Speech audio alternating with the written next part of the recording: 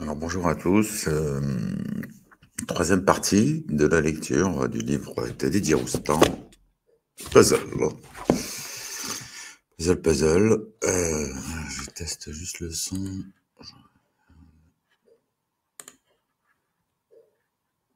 Ok, ça a l'air d'être good. Donc on en était au chapitre 14, Frayeur à l'Est. Alors, je pense que ça sera en quatre parties. Ouais, parce que là, je vais en avoir au moins pour. Euh, vu que je lis lentement, euh, j'ai entre 2 et 3 heures. Donc, il y aura une petite partie, il y aura une quatrième et dernière partie. Donc, quatorzième chapitre, Frayeur à l'Est. Derrière le mur, il y a une forêt. La vie de journaliste sportif est faite de voyages, beaucoup. Il y a des destinations qui font rêver et d'autres beaucoup moins. Imaginez-moi, à 22 ans, partir en Roumanie en pleine guerre froide certes pas à son paroxysme, la tête emplie de clichés. Ceausescu, Dracula, tout ça. Pour commenter un match retour de Coupe des Coupes Stéo à Bucarest, Nantes, les Canaries, c'est-à-dire Nantes, l'avaient emporté 3-2 à l'aller 15 jours plus tôt au stade Marcel Sopin. C'est sûr que quand je débarque à Bucarest, en ce mois de novembre 1979, avec mon père spirituel Jean Reynald je n'ai pas l'esprit totalement tranquille. J'ai tout juste trois ans de métier, mais chaque fois que je dois aller dans un pays de l'Est, parce qu'en 79, l'Est restait l'Est, le mur ne tombera que dix ans plus tard. Au début, en tout cas, j'étais vraiment impressionné. Un autre monde, oulala. Évidemment, dès notre arrivée dans cet aéroport un peu glauque, je suis conditionné et déjà un poil sur le qui-vive. J'ai peut-être vu trop de films, mais c'est vrai que depuis tout petit, on nous explique de manière implacable que nous sommes les gentils et eux les méchants. Bref, je ne suis pas serein, me disant qu'à tout moment, il pourrait arriver un sale truc. Attention, je n'ai même à ce moment-là rien contre l'Est. Disons qu'ensuite, à force de m'y rendre, avec une certaine maturité et de meilleures connaissances sur le sujet, j'y serai plus à mon aise bien que toujours en alerte. Hein.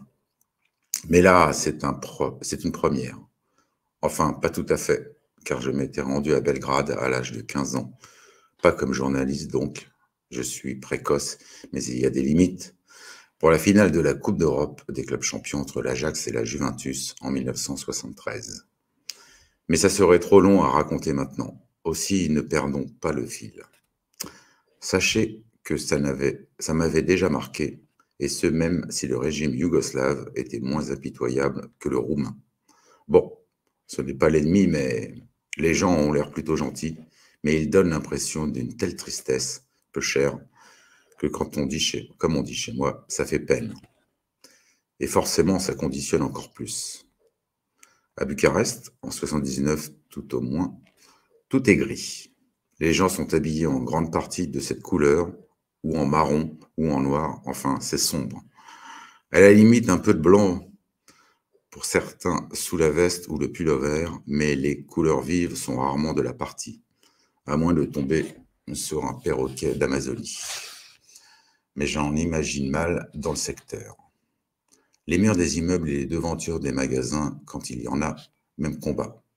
Et je ne parle pas de l'architecture plus raide que la justice. Rien de léger ou un chouïa artistique. Et comme à cette période de l'année, le ciel est raccord, c'est-à-dire gris, tu te dis, putain, il ne faut surtout pas que je reste coincé, bloqué dans ce pays pour une raison X. Heureusement, on ne reste que deux jours sur place. À peine arrivé, Jean me dit tout guillerait. Première chose, on va changer notre argent au marché noir. C'est quatre fois le taux en ce moment, paraît-il. Pas trop rassuré, je lui dis un truc du genre. C'est vraiment raisonnable. On s'en fout du blé. De toute manière, il n'y a rien à acheter, ici.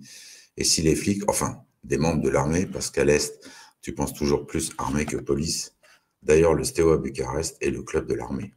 Mais passons. Nous arrête.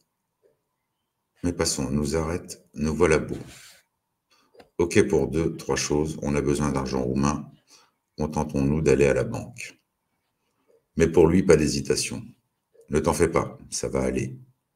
Ok.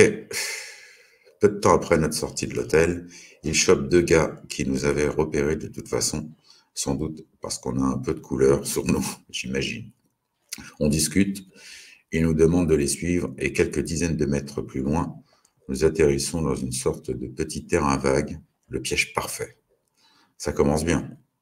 Et là, le gars, c'est le général Majax roumain, un vrai prestidigitateur. On lui propose l'équivalent de 200 francs, je crois.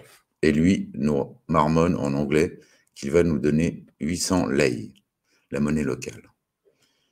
Il nous montre le premier billet en entier, puis compte les autres en dessous, dont on ne voit chaque fois que la moitié très très vite.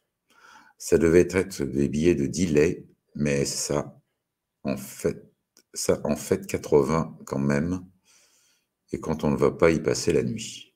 Bref, il nous refile l'alias, il prend les 200 francs et il s'évapore avec son acolyte à vitesse grand V. Hors de question qu'on recompte l'argent dans cet endroit lugubre. Et de toute manière, il a déjà été compté, non? On rentre donc à l'hôtel avec notre butin. Pas d'armée à l'horizon, mon palpitant qui retrouve peu son calme. Jean Rénal est plutôt fier. Tu vois, il n'y avait pas de quoi s'inquiéter. On ouvre alors l'alias qui était plié en deux, tenu par un gros élastique. Et là, le premier billet qui recouvrait les autres était un vrai, mais les suivants à l'intérieur n'étaient que du papier. Une belle réussite et une frayeur pour rien, mais bon, pas si grave. Et ça nous a plutôt permis de bien rigoler. Comme famille tout, on l'a connu plus performant. Et on est ressorti à la recherche d'une banque. Le match a lieu en milieu d'après-midi à 16h et le stade du Steaua se trouve assez loin sur les hauteurs de la ville. Comme on est dans le centre de Bucarest, on prend un taxi. On arrive déjà, c'est déjà un peu chaud. Au moins sa vie. Bon, après, c'est un vrai stade de l'Est avec des gens de l'Est.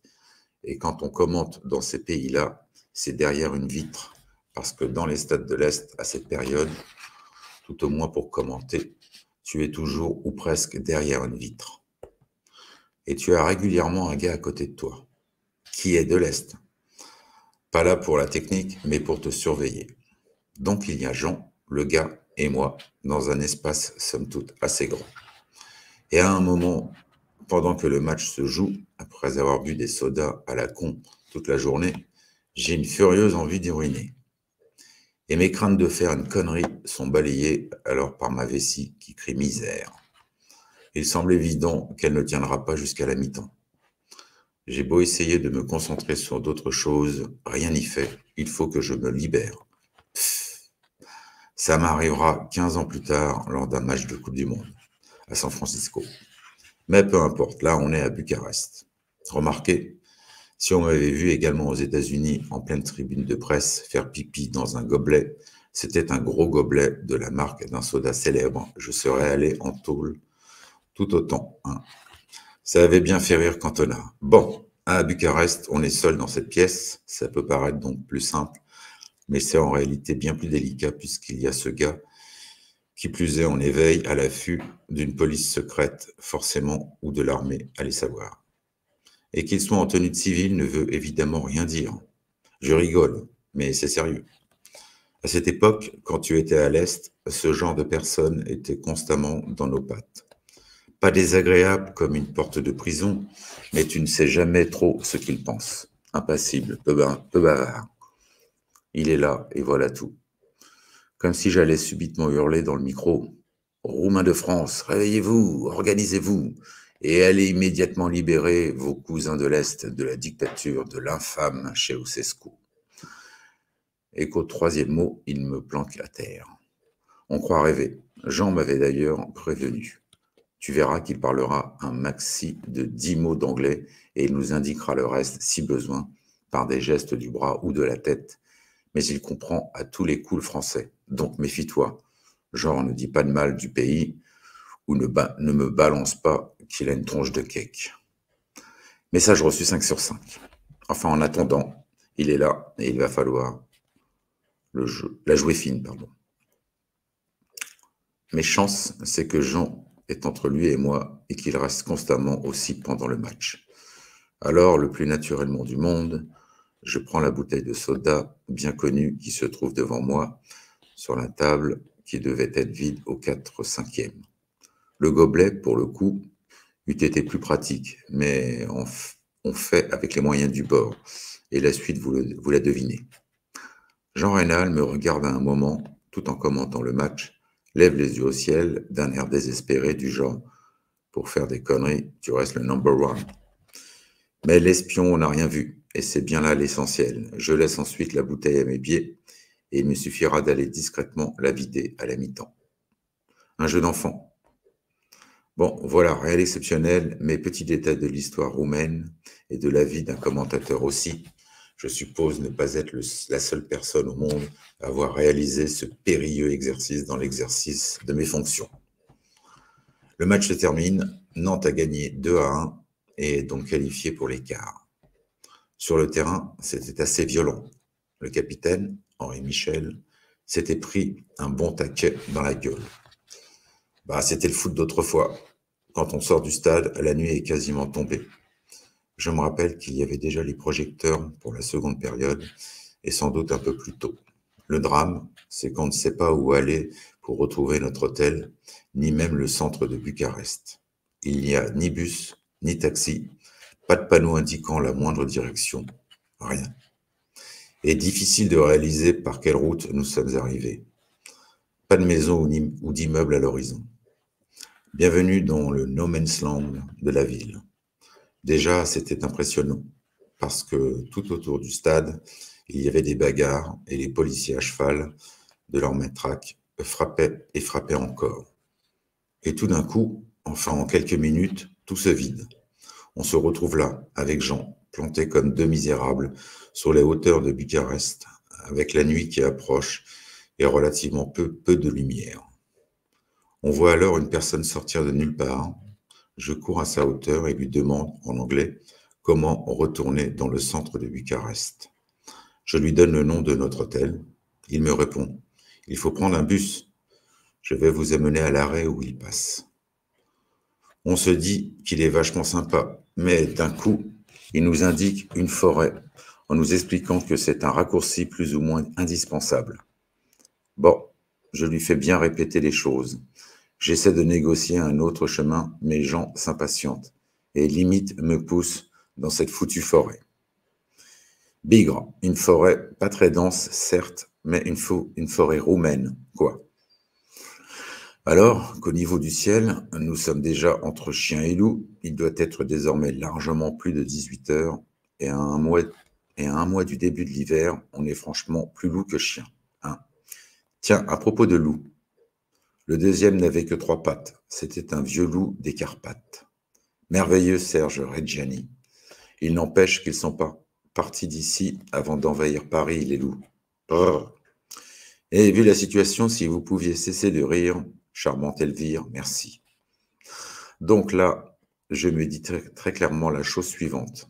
Ça vous fera peut-être marrer, mais imaginez deux secondes le contexte.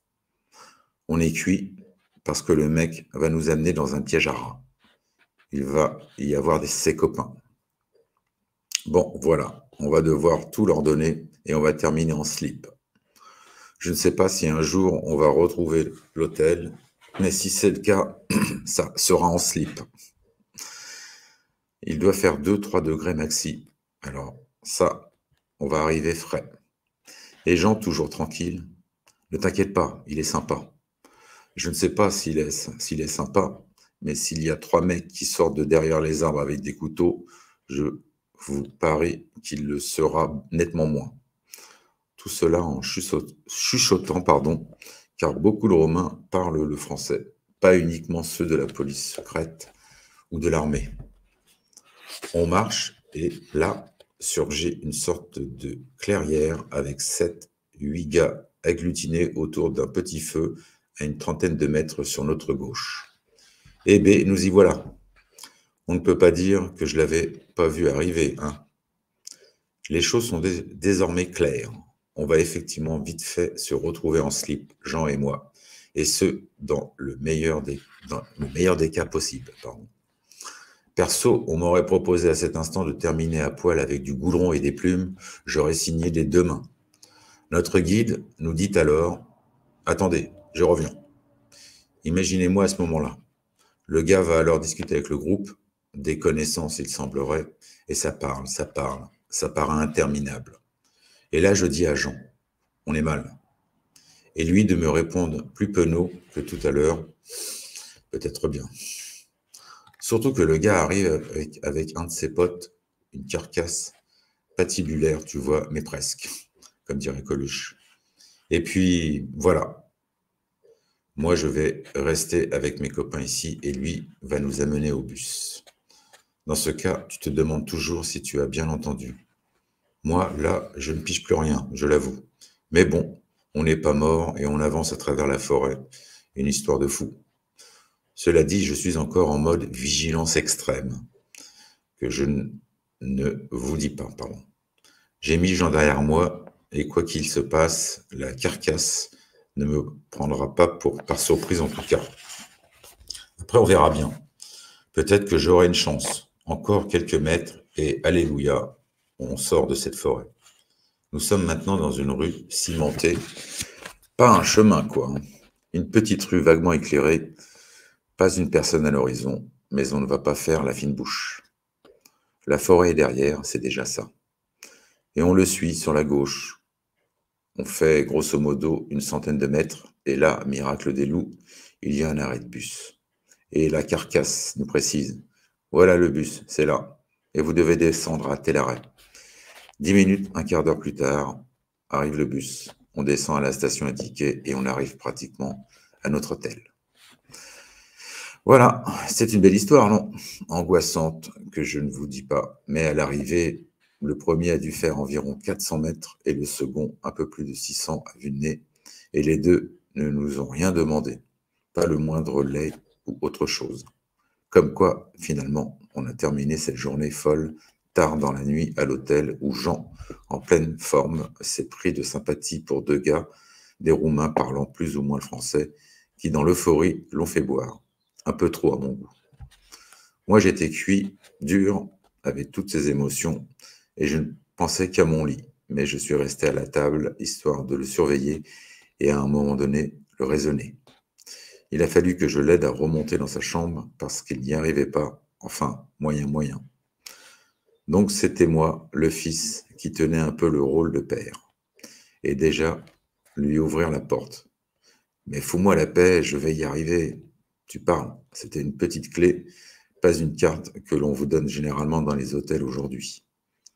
Le border, mettre son réveil, lui rappeler qu'il est demain matin, etc., etc. Pas de problème. Mais évidemment, le lendemain, il n'était pas dans le hall à l'heure indiquée. Je suis remonté le réveiller et nous voilà repartis sur Paris. Quelle aventure Et qui finit bien et nous laissera de beaux souvenirs. Sympa la Roumanie finalement. Chapitre 15 Hidalgo, Platini, Henri, les années Michel.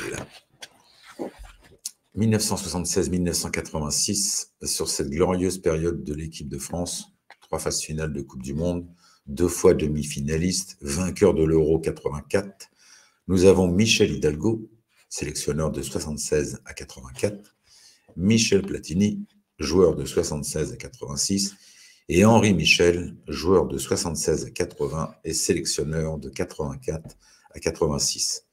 Voilà, c'est la génération Michel. Et pour tout dire, c'est ma génération aussi. Celle que j'ai côtoyée le plus près, celle dont j'allais voir plus ou moins systématiquement tous les matchs sur place, celle, celle que je commentais pour la télé en direct, celle dont je connaissais tous les joueurs personnellement et avec qui je suis encore pour l'essentiel en contact, celle qui m'a le plus ébloui par son jeu, celle de mes débuts dans ce métier, celle qui était digne du plus beau football lié à mon enfance, celui du Brésil 70 et de l'Ajax au début de la même décennie, celle qui a été la première à gagner une épreuve, un tournoi majeur, l'Euro 84, celle qui a été la première à se qualifier trois fois consécutivement pour une phase finale de Coupe du Monde, 78, 82, 86. Celle encore qui a propulsé notre football au rang des meilleurs, qui l'a fait basculer définitivement dans un autre univers. Saint-Étienne, au niveau des clubs, ayant été juste avant le détonateur. Bien sûr, le football français avait déjà ici et là acquis quelques lettres de noblesse. On pense en particulier au Grand Reims et à notre sélection durant la Coupe du Monde 58. Mais ça restait un peu trop éphémère pour nous permettre de nous débarrasser définitivement de nos éternels complexes sur les plans physiques et mental en particulier. La technique, nous l'avons toujours possédée. La génération Michel restera celle sans qu'il n'aurait pas pu y avoir d'OM 91, finaliste d'une telle épreuve, ce n'est pas rien, d'OM 1993, pardon, du PSG 1996 et de France 98. Pourquoi?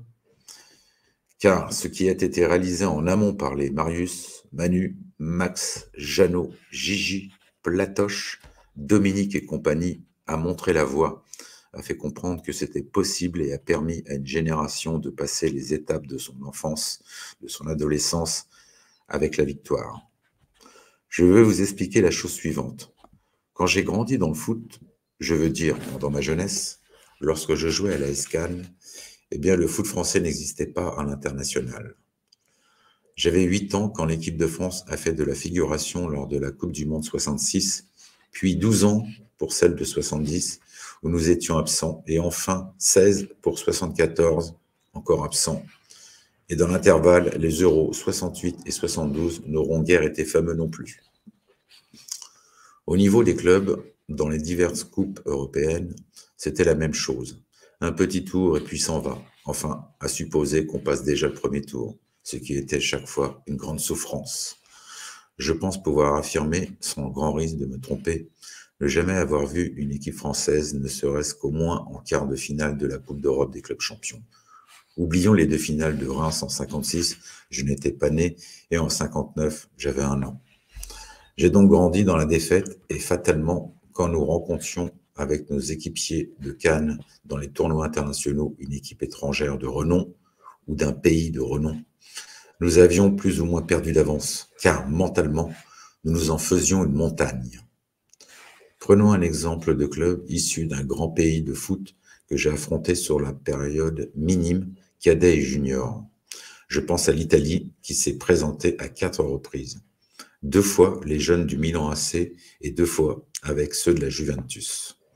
Résultat des courses, trois défaites pour une seule victoire.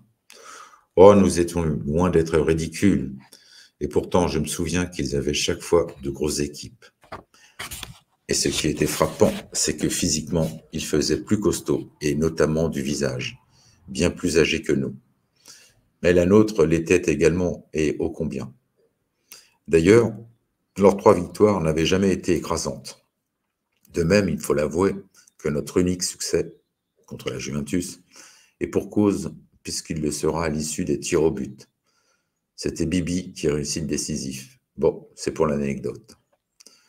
Bref, c'était équilibré et je pense que globalement, notre équipe était chaque fois supérieure, légèrement, mais finalement, nous avons perdu les trois quarts du temps, ce qui fait beaucoup. En temps normal, nous aurions été très déçus, mais je me souviens que pas vraiment ici. Pourquoi? Parce qu'on s'attendait au départ à prendre une rouste, donc avoir fait jeu égal et ne s'incliner que d'un but, pas de quoi se jeter à la mer. Le football italien était bien supérieur au français, nous le savions. Alors il y avait comme une sorte de fatalité. Oui, nous étions par rapport au résultat du foot français des enfants de la défaite. Alors, à quoi bon espérer? Maintenant, regardons ce qu'ont vécu les enfants de la victoire, puisqu'ils ont été au contact d'un football français qui devient alors nettement plus performant au plus haut niveau.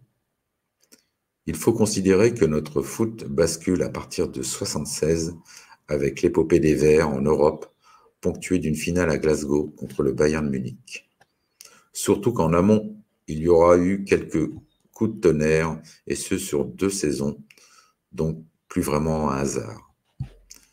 Et très intéressant, on trouvera sur le podium des exploits de nos chers Stéphanois des performances allant à l'opposé de nos points faibles, le physique et le mental, comme déjà mentionné. Ces matchs étaient les suivants. Le premier, Saint-Étienne, du Split, 5-1.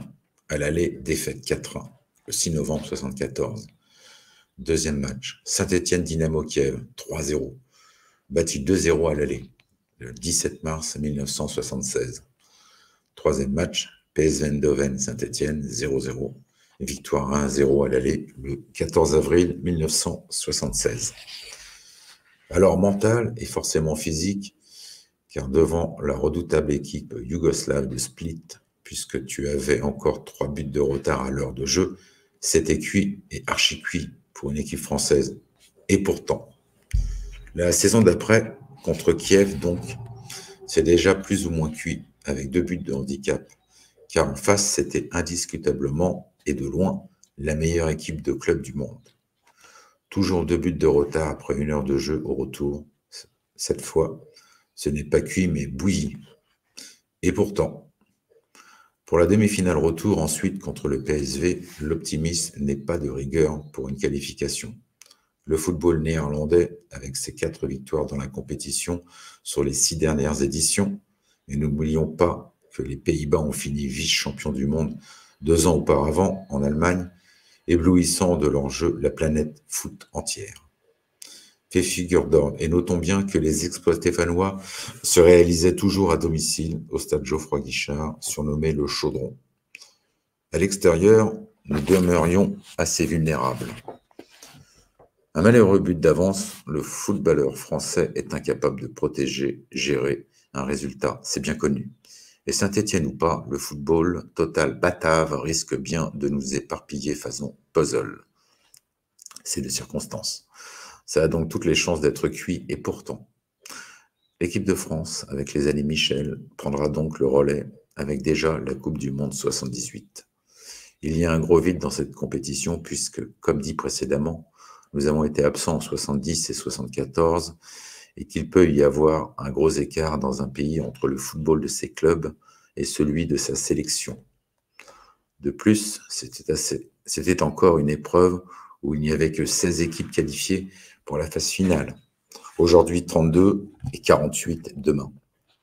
Et pour assombrir un peu notre panorama, la zone Europe était bien supérieure puisque toutes les sélections de l'Est étaient particulièrement féroces et depuis l'éclatement de ce bloc, je ne dirais pas que c'est du pipi de chat, mais enfin, il y a vraiment plus de quoi casser trois pattes à un canard. Rien à voir. Et le 16 novembre 77, c'est un pays de l'Est qui se présente au Parc des Princes, et pas n'importe lequel, l'ours bulgare en personne. C'est notre dernier match dans ces éliminatoires, et déjà l'instant de vérité pour cette nouvelle génération. Titulaire pour cette rencontre, Platini, Rocheteau et Bossis ont 22 ans. Batney Six, 23. Des grosses, des gosses, pardon. Notre trésor de capitaine, qui fait figure de vieux grognard, n'en a que 27. Et aussi pour son nouveau sélectionneur, le peu expérimenté Michel Hidalgo, arrivé pile poil deux ans auparavant. Ça passera ou ça cassera. Et pour gagner son ticket pour Argentina 78, un match nul ne serait pas suffisant. La soirée que j'ai eu la chance de vivre dans les meilleures conditions mériterait vraiment un chapitre pour que vous ayez une minuscule chance de ressentir quelques-unes des mille sensations et émotions qui ont été vécues ce soir-là au Parc des Princes. Pareil pour le match incroyable qui est réuni, réussira, que réussira pardon, Michel Platini, ça vous aiderait mais ça ne suffirait pas pour comprendre et réellement apprécier le niveau de performance. Pourquoi?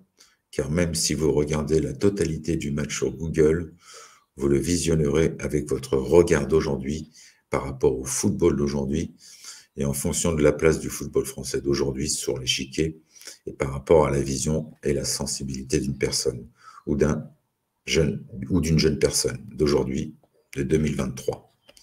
Bon, passons. La France s'est qualifiée grâce à une victoire 3 buts à 1. Et la suite des années Michel, nous la connaissons tous. Regardons de plus près maintenant qui étaient à ce moment-là les enfants de la victoire. Prenons trois exemples de joueurs français emblématiques qui ont disputé les finales des Coupes d'Europe 91 et 93 avec l'OM. On va choisir Basile Boli, Éric Dimeco et Jean-Pierre Papin. Bon, JPP était dans le camp d'en face en 93, mais ça n'a aucune importance ici. Pour les deux derniers exploits rapprochés des Verts en 76, Basile avait 9 ans, 11 ans pour la Coupe du Monde 1978, 15 ans pour celle de 82, 17 pour l'Euro 84. En plus clair, il n'a vu qu'un football français qui gagne, ou pour le moins flirte avec les plus belles équipes du monde, et il va grandir ainsi sans le moindre complexe, mais au contraire, avec des certitudes et une grande confiance quand il se retrouvera quelques années plus tard contre des cracks étrangers. Éric et Jean-Pierre sont plus vieux, de 4 ans, donc 13 ans pour les Verts. Ça passe tranquille, c'est à partir de là qu'on commence à se poser des questions plus ardues. 15 pour 78, 19 pour 82. Ce sont donc également des enfants de la victoire. Quand JPP, alors jeune joueur pro, arrive à 21 ans au FC Bruges, en Belgique, tu crois qu'il va raser les murs comme l'aurait forcément fait, par exemple, dix ans avant, un enfant de la défaite? Tu crois que les joueurs locaux vont le regarder du haut, du genre? Euh, le football français, hein, bah, alors risques et périls, hein, libre à eux de se, de se prendre ensuite une réflexion dans leur tronche du genre. Hé les gars, vous en pensez quoi des cinq buts encaissés par vos fameux Diables Rouges devant la France il y a un an pendant l'Euro? Voyons maintenant quelques joueurs français vainqueurs de la Coupe du Monde 98. Encore plus nettement, enfants de la victoire, c'est mathématique. Laurent Blanc a 11 ans pour les Verts de 76, 13 pour les Bleus de 78 et 17 pour ceux de 82. Didier Deschamps et Marcel Desailly, nés la même année, ont 8 ans en 76 donc 10 en 78 et 14 en 82. 16 pour l'Euro 84 avec les 9 buts de Platini. Et pour terminer, regardons par le double Z, j'ai nommé El Grande Zizou, 4 ans pour les Verts, 6 pour la Coupe du Monde 78, 10 pour 82, 12 pour l'Euro 84, et il fêtera ses 14 ans, 6 jours après le légendaire France-Brésil de Guadalajara en 86. Pas vous avez pigé? Que vous soyez miséreux ou riche, un enfant de la guerre ou un autre des trente glorieuses, et plutôt les vingt dernières ici en l'occurrence, vous n'allez pas appréhender la vie et vous y jeter de la même manière. les joueurs de la génération Michel auront été les pionniers et notre football leur doit énormément. Ils ont conquis de haute lutte cette terre sacrée l'ont défriché avant de creuser puis tracer le plus beau et le plus sûr des sillons. Il n'y avait plus qu'à semer, arroser et entretenir en espérant que les saisons soient bonnes et clémentes. Fatalement, certaines, certaines allaient l'être, et elles l'ont été, et elles le seront encore et encore dans le futur. Aussi, tous ceux qui ont bénéficié et bénéficieront de cette terre de ce merveilleux terrain des Hespérides et goûteront les fameuses pommes d'or porteuses d'immortalité et de fécondité, et ce, qu'ils soient acteurs ou supporters, ou journalistes aussi d'ailleurs. Ils doivent, devront et devraient savoir que c'est la terre de la génération Michel, cette génération qui, par son talent, son courage, ses joies, ses souffrances et ses pleurs, Remember Séville 82, a fait roi les joueurs des générations qui allaient leur succéder. Voilà, ça, c'est fait, c'est dit, et peut-être pour certains qui croient que les choses se font uniquement par l'opération du Saint-Esprit, expliqué et transmis. Allez, on va se quitter avec trois petits clins d'œil de la vie vécue auprès de ces trois Michel, avec lesquels j'ai eu le privilège de partager tant de belles choses d'un point de vue personnel. Commençons par le bel Henri, Henri Michel donc. Notre première rencontre date curieusement du 23 juillet 1969. Il avait 21 ans et moi seulement 11. En fait, j'étais monté avec ma maman adorée et ma sœur chérie voir mon père une semaine sur Paris. Mémorable et inoubliable, avec découverte de la capitale, visite des musées, de certains monuments. Le 20 juillet, arrivée du Tour de France à la Cipale, collé à mon papa, et un peu plus bas, mon idole Eddy Merckx pour sa première des cinq victoires sur la grande boucle. Et dans la nuit qui allait suivre, ce bon, vieux Nell, Allo Houston, un petit pas pour l'homme, un bond de géant pour l'humanité. Quelle aventure, les amis! Et arrive ce 23 juillet avec mon papa, direction l'ancien Parc des Princes, avec la piste et tout et tout, pour l'ouverture de la saison avec le Trophée des Champions. À l'époque, on disait le Challenge des Champions, entre Saint-Étienne, le vainqueur du championnat, et l'OM, celui de la Coupe. 6000 spectateurs seulement pour cette superbe affiche. Étonnant, non? D'un autre côté, le parc était déjà sévèrement mutilé par des travaux. Il sera rasé l'année suivante et le nouveau parc opérationnel en 1972. Bref, nous nous installons dans une tribune à la hauteur de la ligne d'une des deux surfaces de réparation. L'endroit est très clairsemé et, fatalité, qui se pointe peu de temps après notre arrivée et s'installe sur ma gauche à seulement 5 ou 6 mètres, une rangée plus haut. C'était des bancs, pas des sièges comme maintenant. Les joueurs de l'équipe de France. Ils étaient tous là, hormis, bien sûr, ceux qui se trouvaient sur la pelouse. Bosquet, Larquet, Révelli, Beretta, côté forésien, Djorkaeff, le papa, Novi, Loubet chez les Phocéens. Mon sang n'a fait qu'un tour, mais j'étais bien trop intimidé pour les approcher. Mon père m'a alors suggéré de continuer à les observer, qu'à un moment mon regard croiserait l'un, bien l'un des leurs, et à moi, par un langage des signes appropriés, de les rejoindre pour leur faire rapidement signer le bout de papier que j'avais déjà dégoté, vous imaginez bien. Henri était le plus proche, et c'est son regard que j'ai croisé. Il a évidemment accédé à ma demande et je suis monté. Ils étaient tous très gentils, mais Henri encore plus. Enfin, disons que quand je suis arrivé après son hockey, on a discuté deux, trois minutes avant que j'aille voir les autres, et une fois ma mission accomplie, je suis donc repassé devant lui en le remerciant fortement. Et on a encore un peu parlé, tant et si bien qu'il m'a dit, avant que je ne reparte à ma place, pourquoi tu ne viens pas t'installer avec ton père à côté de nous pour suivre le match?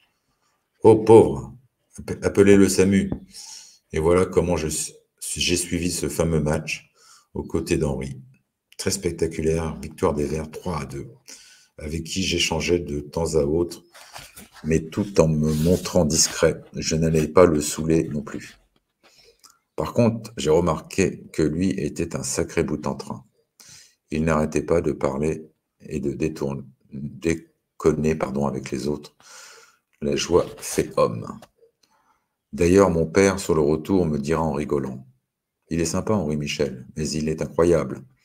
Il ne peut pas faire une phrase sans dire putain. Mais papa, il est du Sud.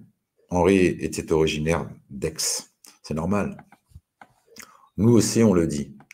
Bah, c'est vrai, pas à cette fréquence, mais il était clair qu'à dater de ce jour, on ne risquait pas d'écorcher Henri en ma présence. Oui, c'était un super gars. Je m'en rendrai compte à bien des reprises, car en raison de mon métier, j'allais le fréquenter ici et là, quelques années plus tard seulement. On se connaissait, on s'appréciait, mais sans plus, des rapports chaleureux, mais qui restaient professionnels. Jusqu'au moment où nous avons fait la Coupe du Monde ensemble en 82, TF1 l'avait pris comme consultant. Quand tu es dans la peau d'un collègue, nous n'étions plus dans un rapport journaliste, joueur ou entraîneur, c'est important. Durant un mois, à l'étranger, le temps est suspendu, tu es coupé du quotidien. En général, ça crée des liens. Surtout si, bien souvent, tu te retrouves seul avec lui dans ta ville, dans telle ville, puis dans telle autre, etc., pour commenter des matchs. Et avec Henri, nous nous sommes trouvés beaucoup d'affinités, même si, comme il le disait en rigolant, nous découvrons aussi à travers d'autres facettes qu'il ne soupçonnait pas forcément. J'étais, selon lui, un sacré oiseau ou un truc dans le genre. Mais c'était dit avec beaucoup d'affection. Il est clair qu'à 24 ans, mon caractère un peu foufou pouvait être détonnant à l'occasion. Mais il n'était pas en reste, et on a beaucoup ri et vraiment passé du bon temps. Je l'entends encore tambouriner régulièrement le matin à ma chambre alors que je dormais comme un loir, et très probablement la tête cassée en deux par une nuit, disons, agitée. Putain, ouvre cette porte, prépare-toi, tu me casses les couilles à toujours me faire attendre comme ça. Le tout dit sans hurler, plutôt avec lassitude, avec l'accent chantin du midi. Ça passe mieux. Putain, l'heure espagnole, ça te parle à toi? Le tout répondu sans hurler, plutôt agonisant, avec l'accent chantant du midi. Ça passe mieux. Que je retrouve instantanément quand quelque chose me gave sévèrement. On était loin du gosse tout penaud un soir au parc, mais on est comme ça dans le sud. Les mots ne veulent pas dire grand-chose. C'est le ton avec lequel ils sont prononcés qui en donne vraiment la portée. Et ici, le son était celui de deux personnes qui s'appréciaient et se respectaient beaucoup. Je lui ouvrais, il râlait. Je râlais, il s'installait sur une chaise et s'allumait une de ces horribles, un de ces horribles petits cigares. Bon, ça ne m'empêcherait pas de lui en taxer régulièrement. Je retournais m'allonger, je grillais ma petite gitane sans filtre de la journée. Et au milieu de nos fumées respectives qui se mélangeaient, nous refaisions le monde tout en préparant notre plan d'attaque de la journée. J'ai souvent eu envie de lui parler de cette soirée au parc, onze ans plus tôt. Et ce ne sont pas les occasions qui ont manqué, mais allez savoir pourquoi, je ne l'ai jamais fait. Les mystères de la vie, sacré Henri. Allez, maintenant, un petit souvenir qui sortirait de l'ordinaire pour le deuxième Michel. Bon, ce Michel est tout aussi sympa, mais dans un registre différent. Plus compliqué, plus diva, même si simple, même si simple aussi par bien des côtés au fond, pardon.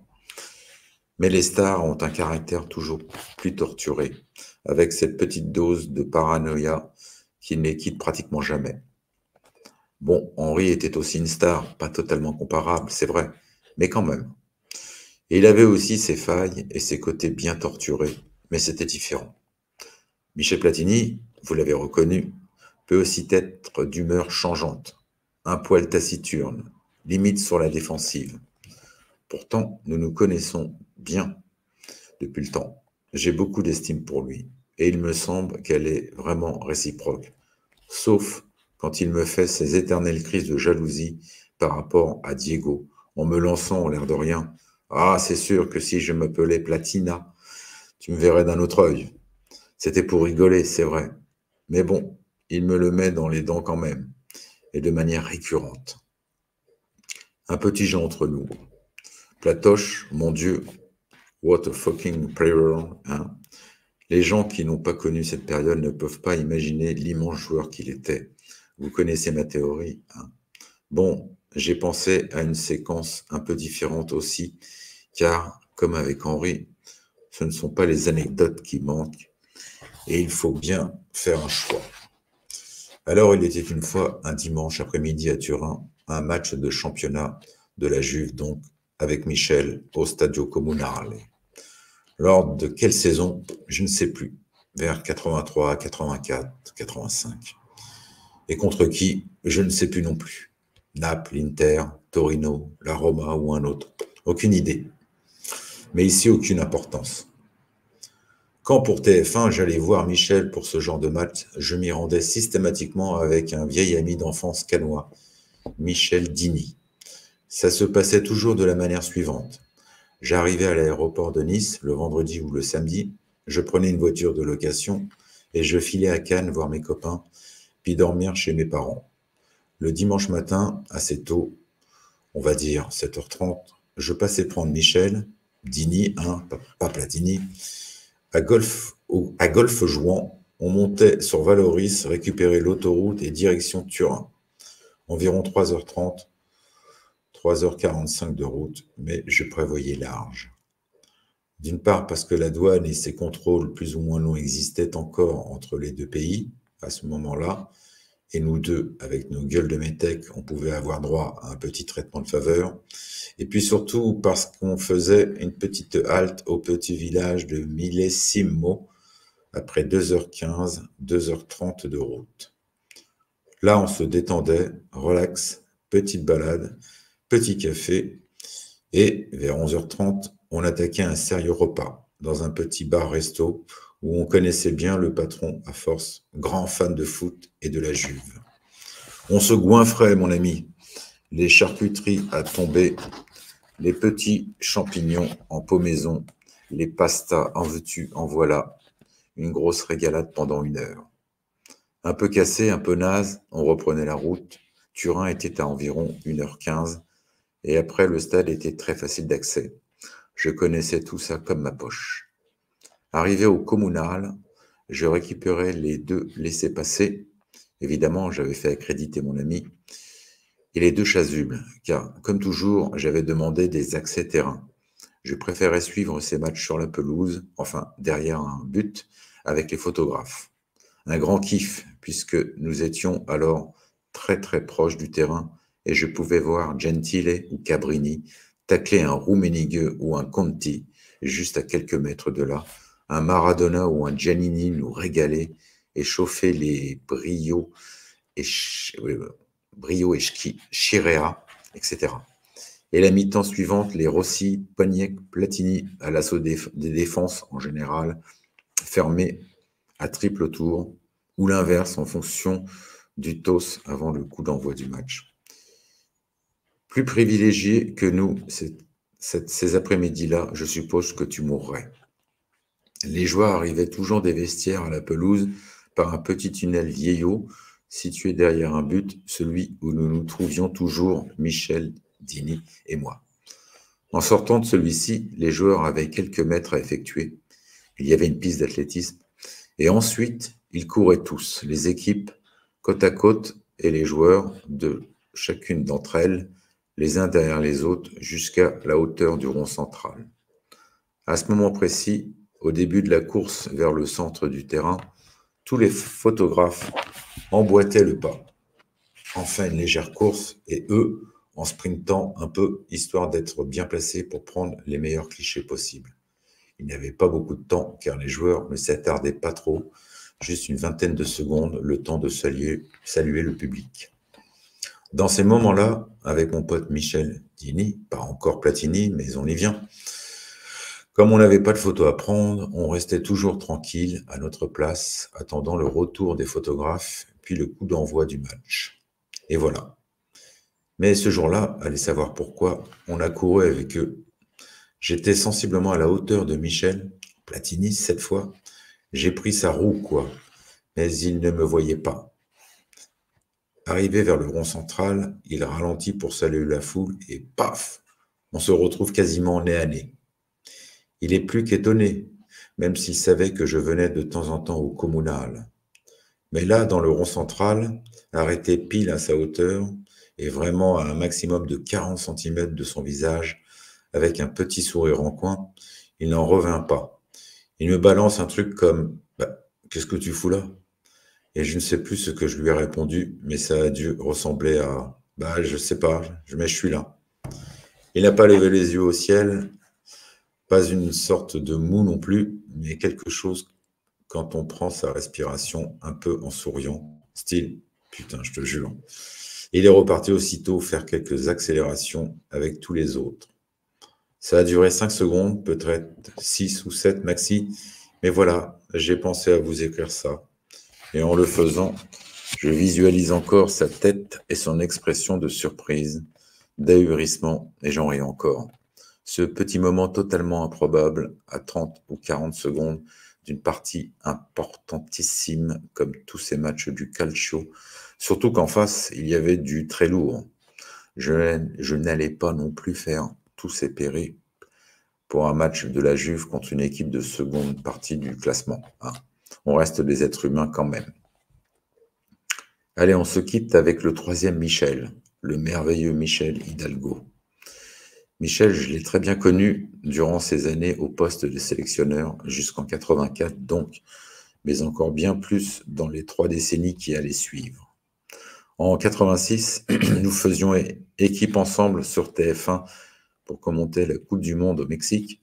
Ça crée des liens, je vous l'ai déjà dit, car tu vis toujours des situations fortes et particulières dans ces moments. Vous allez d'ailleurs le constater dans cette fin de chapitre. Et dès mon arrivée sur France Télévisions, j'ai demandé que la chaîne le prenne pour que nous, composions le même tandem de commentateurs pour l'Euro 92 d'abord. Il y avait aussi deux autres bons copains, Jeannot Tigana et Arsène Wenger, et ensuite un certain nombre de matchs tout au long des deux années qui allaient suivre. Michel était toujours à mes côtés. Il était de tous les combats, en particulier celui du syndicat mondial des joueurs, et bien sûr, quelques années plus tard, de celui de foot citoyen. Toujours fidèle, toujours partant, toujours généreux et disponible. Authentique, humble et passionné.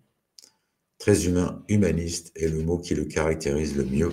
Je trouve une sorte d'ange et, à mon niveau, un ange gardien. Je mets de côté le grand sélectionneur qu'il aura été, sa volonté constante de produire du jeu, son intelligence à laisser une grande liberté à ses joueurs créatifs, qui le lui rendaient bien, ses prises de risques totalement révolutionnaires. À ce sujet, on pense immédiatement à la création du fameux carré magique durant la Coupe du Monde 82. La référence ultime pour beaucoup. Et c'est vrai que ce n'était pas rien. Mais il y a pire. Enfin, mieux je veux dire, ou alors pire dans la prise de risque. Je m'explique. Le carré magique était composé de trois meneurs de jeu, trois numéros 10 dans leurs clubs respectifs d'alors, et qu'ils seront durant toute leur carrière pour chacun de toute manière.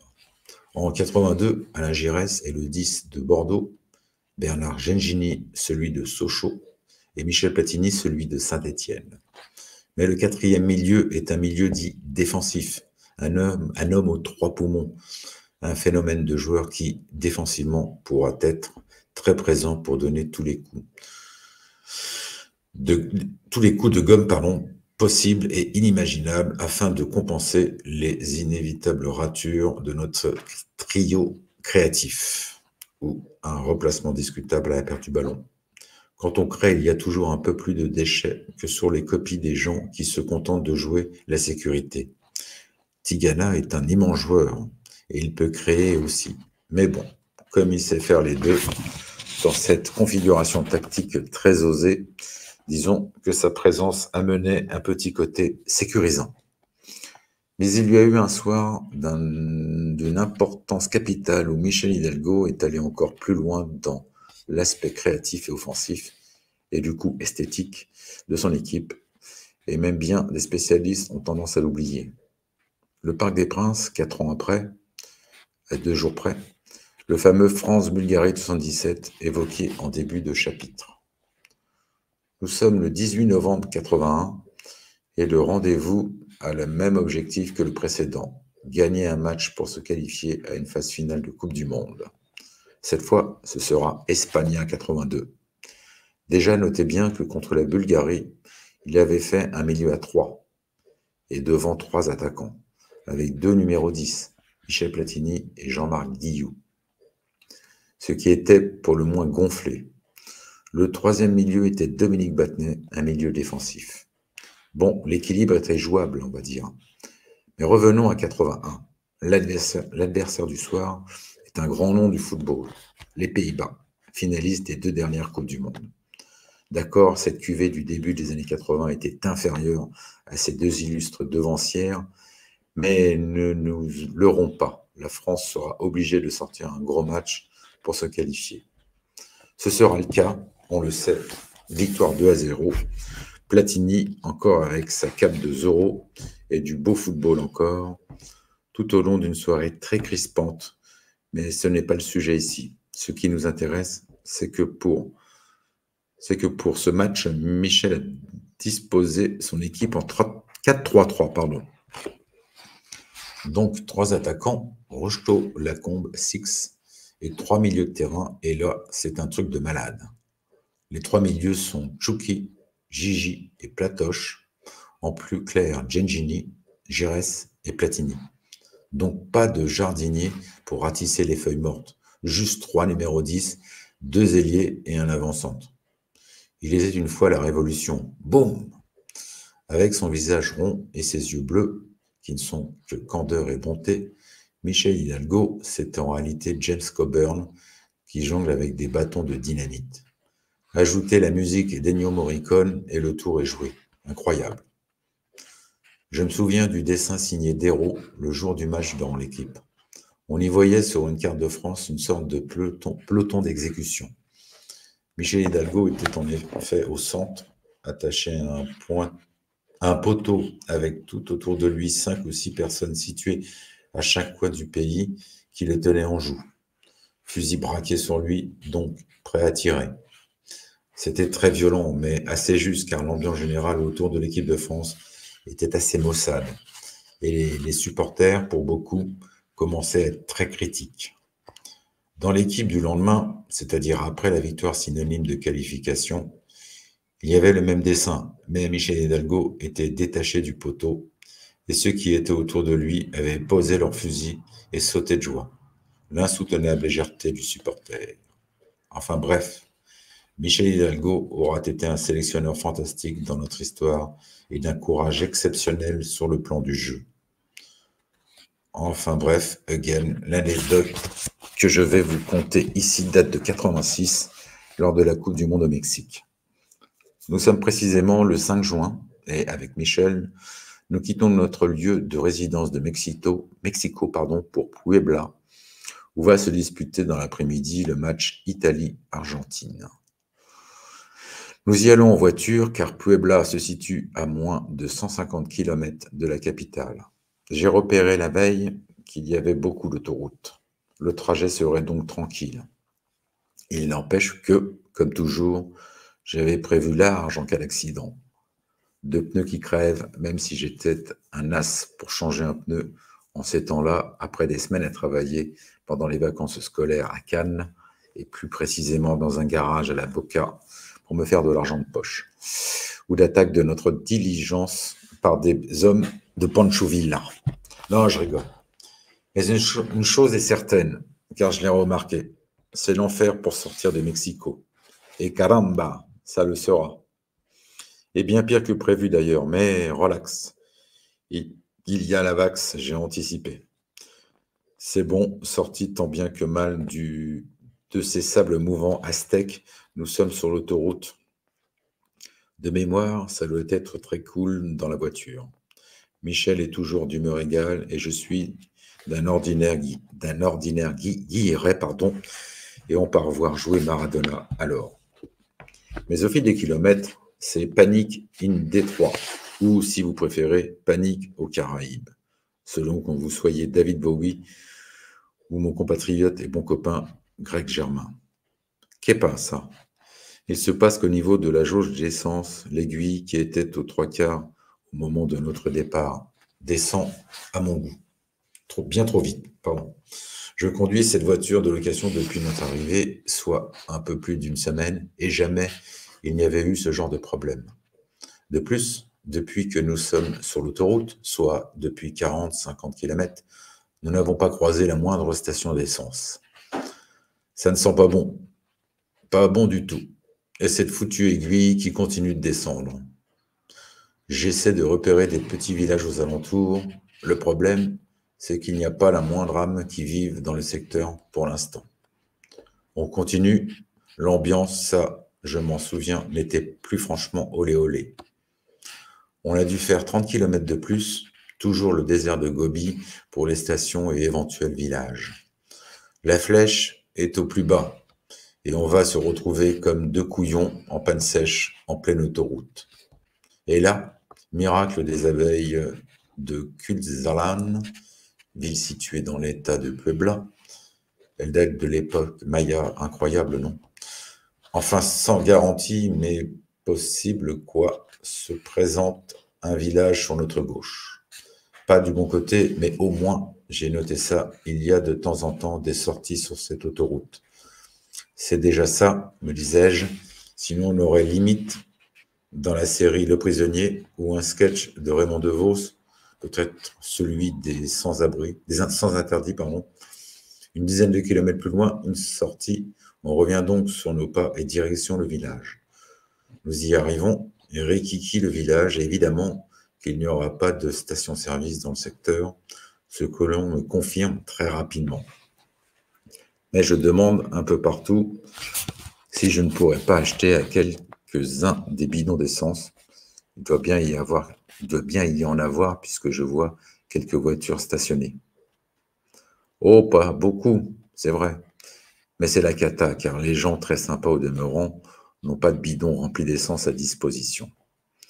Mon cerveau est en train de bouillir. On se retrouve là comme deux vieux rats pris au piège, en plein cagnard, les pieds dans le sable, avec des poules et des chiens se promenant sans crier gare, et des Mexicains basanés, leur sombrero sur le nez en guise, en guise, en guise de parasol. Chauffe Marcel.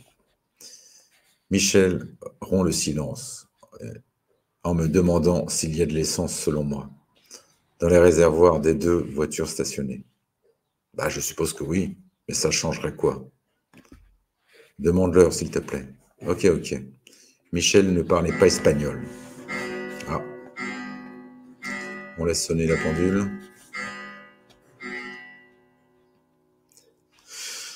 Michel ne parlait pas espagnol. Je questionne donc nos nouveaux amis et on me confirme qu'évidemment, il y en a. Michel, oui, il y a de l'essence. Bon, je vous la fais courte. Michel me fait demander un bout de tuyau assez long, ainsi qu'un bidon, et le voilà qui introduit les tuyaux dans le réservoir d'une voiture, avec l'accord du propriétaire, bien sûr, et à genoux, il se met à piper l'essence. Alors, il y avait peut-être un autre tuyau, je ne sais plus, mais toujours est-il que l'essence de la voiture a atterri dans le bidon. Une histoire de fou. Bon, on a vidé ensuite l'essence de notre réservoir, on les a payés et on est, reparti dardard car avec tout ce temps perdu, on avait toutes les chances de ne pas arriver avant le coup d'envoi du match. Ce qui est arrivé d'ailleurs. En fait, nous nous sommes retrouvés à notre position commentateur à la septième minute de la rencontre. J'ai pris le micro, à bout de souffle, les couloirs de ce stade qui montaient pour arriver à la tribune de presse étaient longs et interminables, alors qu'il y avait penalty pour l'Italie, avec Altobelli qui était à deux doigts de prendre son élan. Je n'avais même pas vu l'action qui avait provoqué la faute. Pas vraiment pratique tout ça. Mais ouf, on ne s'en sortait pas si mal grâce à la débrouillardise de ce sacré Michel. Je l'ai longuement taquiné sur le chemin du retour en lui disant que c'était un petit cachotier de m'avoir dissimulé son passé de petit loulou qui siphonnait toutes les voitures de son quartier. La vue du grand sélectionneur, que tout le monde s'arrachait à une époque, en train de siphonner la voiture d'un petit village au fin fond du Mexique, au milieu des poules et des chiens vagabonds, me hantera longtemps. Mais c'était ça, Michel. Toujours humble, la gloire ne l'avait pas changé. Et de ses beaux yeux bleus, dont ressortait sa belle âme, il resterait, et jusqu'à la fin, un homme du peuple. Voilà, les années Michel, c'était ma génération. Et pendant que Kate démontait avec hystérie tous les éléments de sa batterie, que Pete cassait avec rage ses guitares, le tout sous l'œil placide de John, Roger érictait dans son micro I hope I did before I get old. This is my generation, this is my generation, baby. J'espère mourir avant d'être vieux. C'est ma génération, c'est ma génération bébé. Voilà, fin du chapitre 15. On va attaquer le 16. Je vais faire une petite pause kawa et flotte surtout. Dans quelques instants.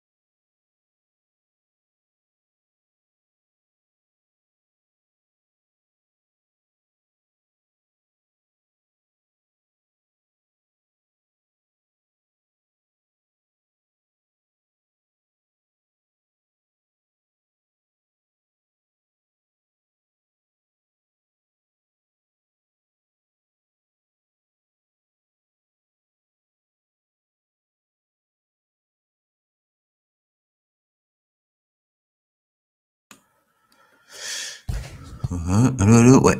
Euh, oui, donc désolé, j'avais plus de café, il est en train de couler. Donc, euh, c'est vrai qu'on fait lecture, j'aurais peut-être dû plutôt enregistrer, faire un truc là, ça fait des blancs. Il y a des blancs là. Oh, c'est pas bien grave. Donc là, il finit de couler, je bois, je mets une clope et je reprends la lecture. On en est donc à Argentine, qui est le 16e chapitre? Sur un total de 21. Il y en a 21 chapitres. Hmm, ça fait combien ça Ça fait là, 40 pages. 7h11. Ouais, je pense pas finir aujourd'hui parce que j'ai des choses de prévues, mais ce sera, je pense, en quatre parties. Alors peut-être que je, je m'arrêterai peut-être au 18 et pas au 19. 321, 297. J'en suis à combien là? On en a combien? 257. on va voir. Freestyle, hein. ça, on va le faire freestyle, on verra bien. Mais il risque d'avoir quand même un quatrième, euh, lecture qui sera beaucoup plus courte pour finir, euh, pour finir le bouquin. Voilà, voilà. Donc je reprends le son, je vais me servir un kawa, je reviens.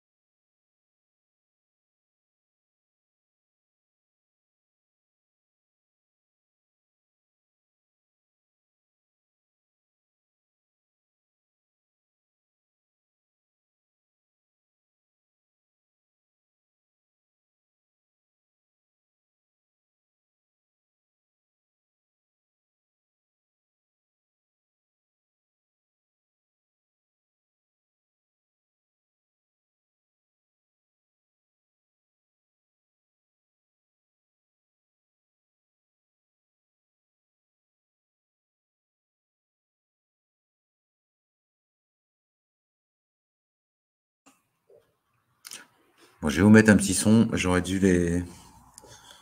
Je sais pas, qu'est-ce qu'on va mettre? J'en avais téléchargé déjà dans le stream, mais il y a 3-4 conneries, pas grand-chose. On va mettre ça en attendant parce que mon café n'a pas fini de, de couler. Il n'est pas coulu. Non, pas coulu, pas bu, forcément. Il arrive sur la fin. Et puis, je fume ma petite clope, là, puis, euh, puis on reprend ça. Je vais mettre ça. Shaft. Shaft. Qu'est-ce que j'ai mis ça Bon, je vais ça. C'est toujours mieux de patienter de la musique. Mais je pense du d'ici 5 minutes, je reprends la lecture. Alors, est-ce que ça passe si je fais juste ça Normalement, ouais?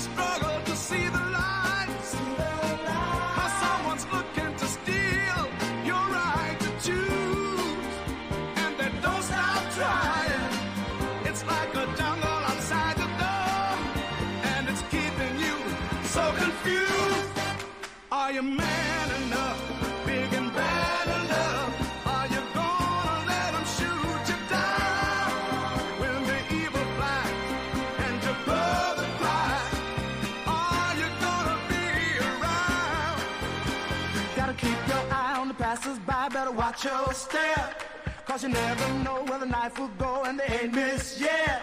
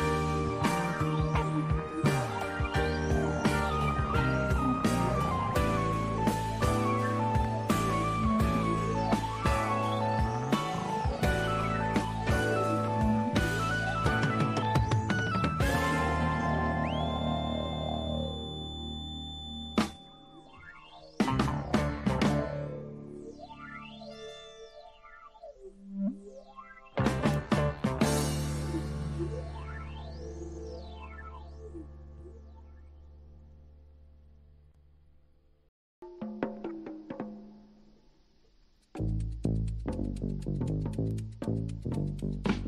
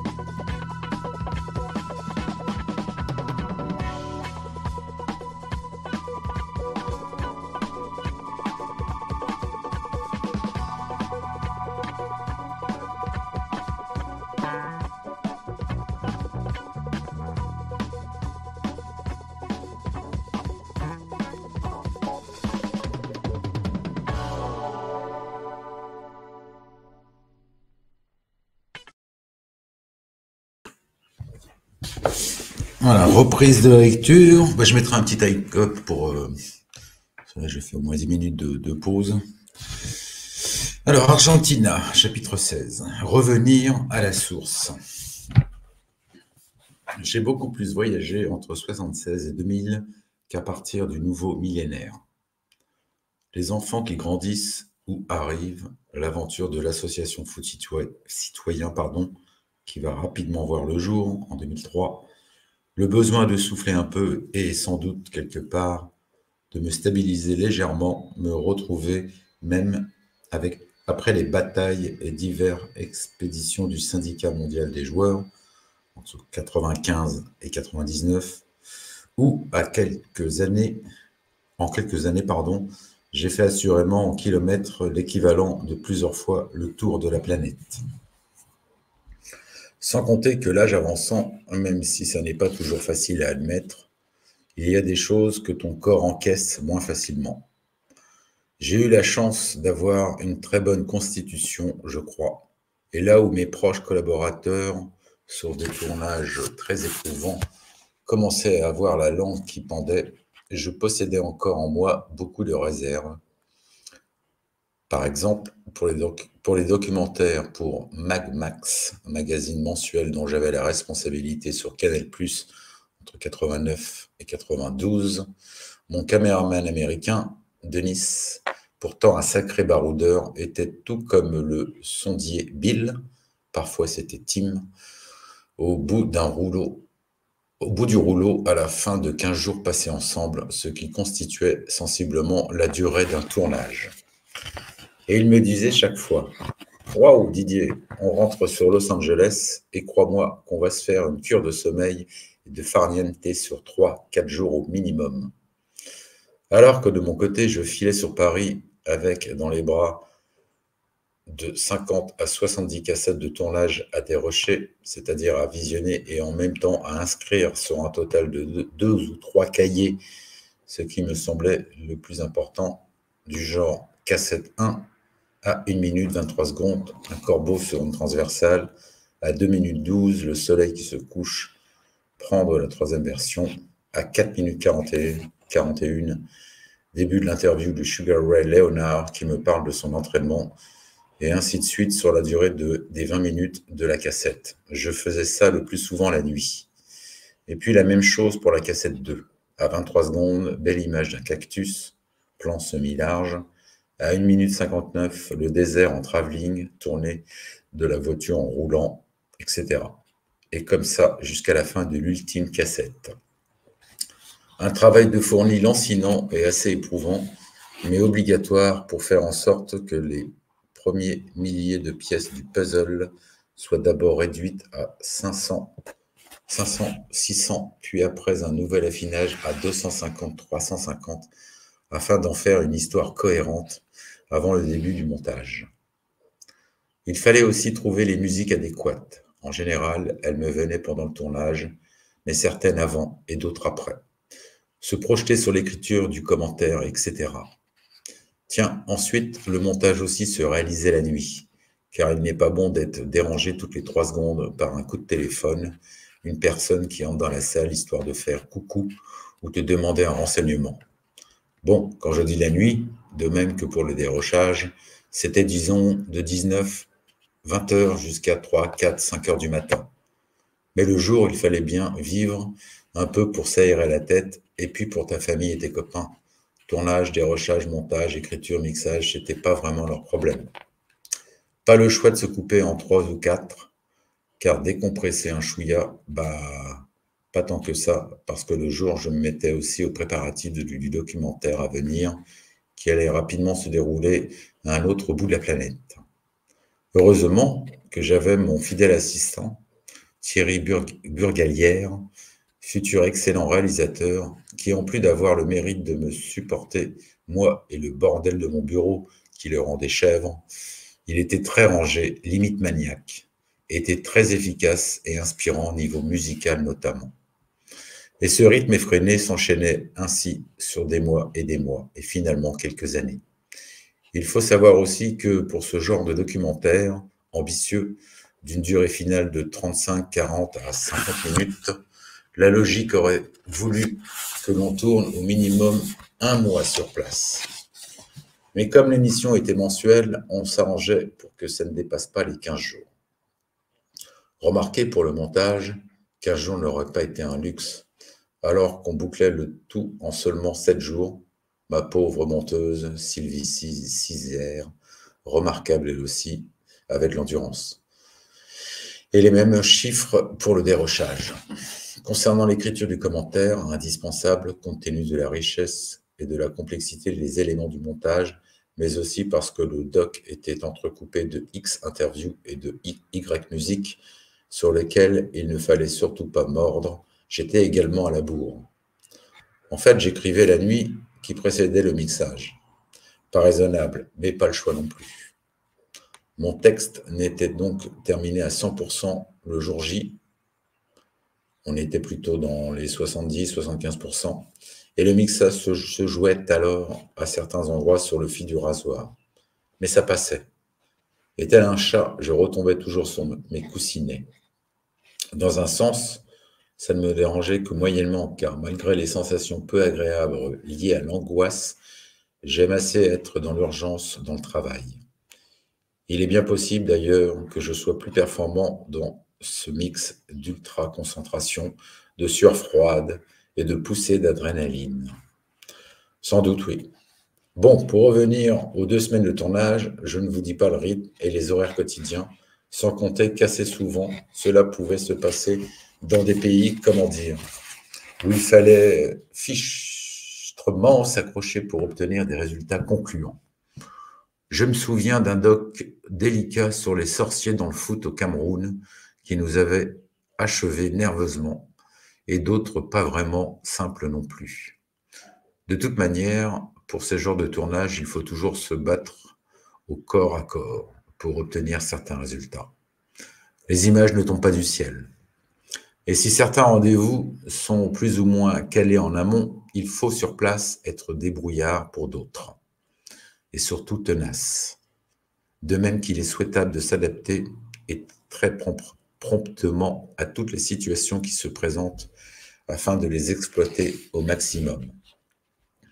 Bref, on dormait peu. Les repas étaient un jonglage permanent toujours sur lance-pierre, l'éternel sandwich sur le pouce, faisant le plus souvent largement l'affaire, et pour le responsable de la petite troupe, c'est-à-dire l'auteur de ces lignes, c'était nerveusement délicat. Car il fallait être constamment en état d'alerte. Mais c'était passionnant aussi, et ce que tu perdais en énergie était compensé par une forme d'excitation, voire d'exaltation, quand sur place tu réalisais un plan clé, une séquence réussie, que tu tombais sur une belle lumière, que tu saisissais une opportunité à la volée ou encore une interview riche dans sa substance qui apporterait fatalement beaucoup. Tu le savais déjà sur le moment, au résultat final. Il n'empêche, tu laisses des plumes dans tout ce tralala. Et puis les décalages horaires qui te plombent un peu beaucoup aux entournures et les éternelles galères inhérentes à ce genre de déplacement, etc. Il faut s'accrocher, quoi. Mais attention, je ne me plains pas. Hein. Il y a des métiers bien plus durs et compliqués, cela va de soi. Et surtout, j'ai toujours eu l'avantage de faire ce qui me plaisait, contrairement à une majorité de personnes. Et puis le privilège de faire ces beaux et si enrichissants voyages, ça compte aussi. Pas de méprise, je vous explique juste deux, trois trucs. En fait, j'ai toujours beaucoup travaillé et bien plus que la moyenne, même si j'imagine que je n'en donnais pas l'air auprès de beaucoup de téléspectateurs, à qui je laissais sans doute une impression de baladin, saltimbanque, troubadour, mais après tout, je le suis aussi. Je dégageais aussi une certaine décontraction, dirons-nous, l'image d'apparente facilité, car il est vrai que je pense ne m'être jamais pris au sérieux à l'antenne, ni par ma manière d'être, ni par celle de penser, ou encore moins de m'exprimer. Sans compter que, quoi qu'on en dise, l'habit fait le moine dans notre pays. De plus, certaines de mes tenues, assez colorées et souvent jugées excentriques, n'étaient pas vraiment communes à celles de mes confrères. Bref, tout cela accentuait, à n'en point douter, auprès des gens qui parfois ne voient guère plus loin que le bout de leur nez, l'impression de retrouver dans leurs lucarnes respectives une sorte de petit branleur Mais sur ce sujet, je suis toujours foutu, je m'en suis pardon, toujours foutu royalement, car j'ai toujours voulu me montrer sous mon vrai visage, sans artifice, et ce, dès mes, débuts, pardon. Petit branleur, c'est ce que j'étais avant de commencer ce métier. Je l'avoue, et que je suis sans doute toujours un peu au fond de moi, mais la passion don et le goût du travail bien fait, toujours à la recherche d'une certaine perfection, font qu'en réalité, j'ai toujours beaucoup donné et pas mal payé de ma personne. Même si, de temps à autre, je faisais en sorte de ménager la monture avant de repartir de plus belle. Bon, j'en étais où? Ah oui, une certaine générosité dans l'effort, grâce notamment à une forte volonté, car je fatiguais aussi hein, et servi manifestement par un taux de récupération assez significatif. Mais j'ai été victime d'une dépression quatre mois durant en 2002, conséquence ou disons contre-coup des années du syndicat mondial des joueurs selon le professeur qui me suivait, et le fameux Tarzan, alors réduit à l'état de vieux facochère, a compris deux, trois choses, et notamment qu'il avait trop tiré sur certaines lianes de son esprit et de son corps. Et les incessants voyages n'y étaient pas étrangers, évidemment. Dans ce domaine, j'ai donc mis la pédale douce, enfin, façon de parler, à la mi-chemin de mon parcours et fait en sorte que la qualité compense la quantité, car j'adore voyager et dans la mesure du possible, je comptais encore le faire, bien sûr. Mes nouvelles fonctions à l'équipe TV, à partir de 99, me le permettant, je suis allé voir beaucoup moins de matchs sur place, en particulier en France. Vous me direz, il le fallait bien, car mes responsabilités, peu de temps plus tard, au sein de l'association Foot Citoyen, en 2003 à 2018, m'obligeaient déjà à la ratisser, cette France, en long, en large et en travers. Pour ce qui est de l'étranger, j'ai vraiment limité mes déplacements à de grands matchs en Angleterre, en Espagne et en Italie en particulier, car j'aimais bien ces trois championnats et un petit peu dans d'autres pays aussi, mais sans plus. Par contre, j'ai continué à multiplier les voyages en Amérique du Sud, et ce pour une raison essentielle que je vais vous expliquer maintenant. Vu l'évolution du football et le côté répétitif de certaines compétitions, la Ligue des Champions notamment, avec à l'arrivée en gare et déjà en vue de celle-ci toujours les mêmes trains, à une ou deux exceptions près, il a fallu que je me revigore l'esprit. Et pour cela que je revienne vraiment à la source d'un sport qui devenait à mon goût de moins en moins populaire. Mon grand âge, accentué par des débuts incroyablement précoces dans le métier, et une passion très vite qui a dû naître dès l'âge de 5-6 ans, ont fait que j'ai vraiment souffert de l'évolution de mon sport chéri, où l'horizon des sensations et émotions devenait lentement, mais sûrement, des plus flous, car esclave peu à peu uniquement du résultat du match. Bien sûr qu'il est important, mais vivre, ressentir, puis analyser les choses juste par le prisme de celui-ci, bah bof bof quoi. Surtout qu'en foot, c'est pas systématiquement le meilleur qui gagne. Au détriment du jeu, et où l'argent gagnait de plus en plus de terrain, terrain où les statistiques prenaient une ampleur folle, tout comme pointer systématiquement du doigt les erreurs ou pseudo-erreurs d'arbitrage.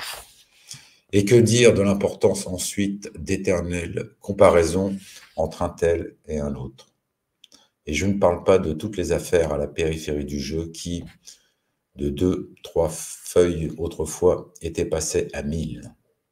Le côté crémeux, vanillé, délicieux en moins, ici ce serait plutôt un millefeuille au piment, voyez-vous, sans compter ce côté métallique que l'on trouve maintenant à travers une multitude de joueurs durant les matchs, les artistes et autres dribbleurs, inspirateurs se faisant rares, perdus qu'ils sont dans un milieu où la puissance physique est désormais primordiale et où l'air de rien, les systèmes de jeu se ressemblent de plus en plus.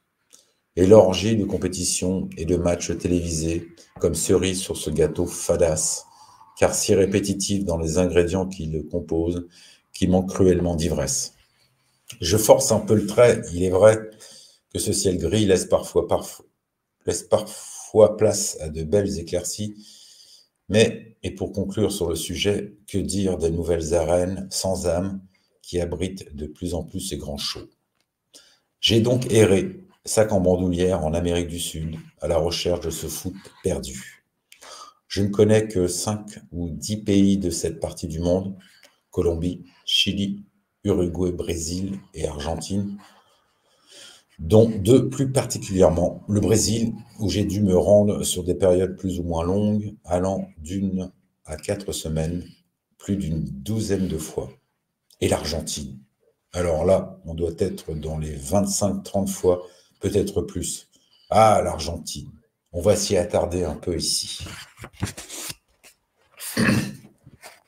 J'avais un grand copain, plus qu'un copain même, Francis Huertas, qui était correspondant en Amérique du Sud pour le mensuel 11, mais aussi, l'hebdomadaire France Football et les quotidiens L'équipe en étant basés à Buenos Aires.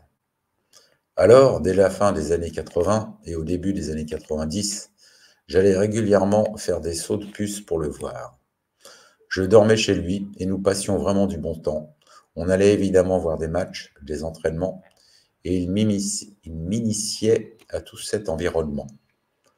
En 93, j'ai fait un très long documentaire sur Maradona et en 95, avec la préparation du futur syndicat mondial des joueurs, je m'y suis rendu encore plus régulièrement pour en tracer les contours, toujours avec Maradona et certains de ses proches.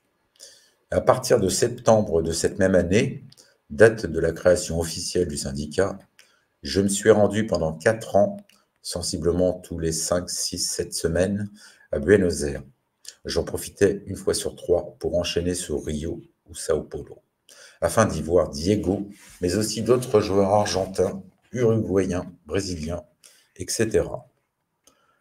Les gens situés sur cette partie de la planète ont tous vécu une dictature de près ou de loin, et fort de cette douloureuse expérience qui laisse des traces indélébiles dans une société, ils sont naturellement bien plus engagés que la moyenne, leur conscience politique étant largement plus affinée. Et peu à peu, je me suis senti là-bas aussi à l'aise qu'un hibou sur son grand chêne. Mais n'était-ce pas alors plutôt un coucou? Bon, peu importe. Avec ce besoin immense, intense, de humer l'odeur des estades qui sentait vraiment le foot populaire d'autrefois. L'Argentine, terre de football, avec une passion certes excessive pour ce sport, mais si émotionnelle, si touchante. Après, malheureusement, les pires crises économiques et sociétales, dues à une succession de politiques désastreuses, ont frappé le pays régulièrement. La puissance financière des clubs locaux s'en est fortement ressentie et l'arrêt Bosman a fait le reste. Du coup, les pépites du pays de la Pampa sont parties dans les grands championnats européens, et ce surtout dès leur plus jeune âge. Alors, certes, la qualité du jeu au niveau du championnat argentin, et tous ceux d'Amérique du Sud, a énormément perdu. Mais, la même passion folle demeure, car les racines du foot et une certaine poésie aussi sont restées, puisqu'elles y sont si profondément ancrées. Ce foot qui transpire, celui que j'aime par sa fraîcheur, car il appartient encore au peuple, n'ayant pas été pollué par les euros et dollars, pétro pour certains. Ce foot est finalement à l'image de ce petit village d'irréductibles gaulois qui résiste à l'envahisseur romain, car il a lui aussi une potion magique, une réelle authenticité. Et c'est pour moi chaque fois une régénérescence, un moment qui m'aide à garder un côté encore candide par rapport à ce sport et donc aussi indirectement à mon métier.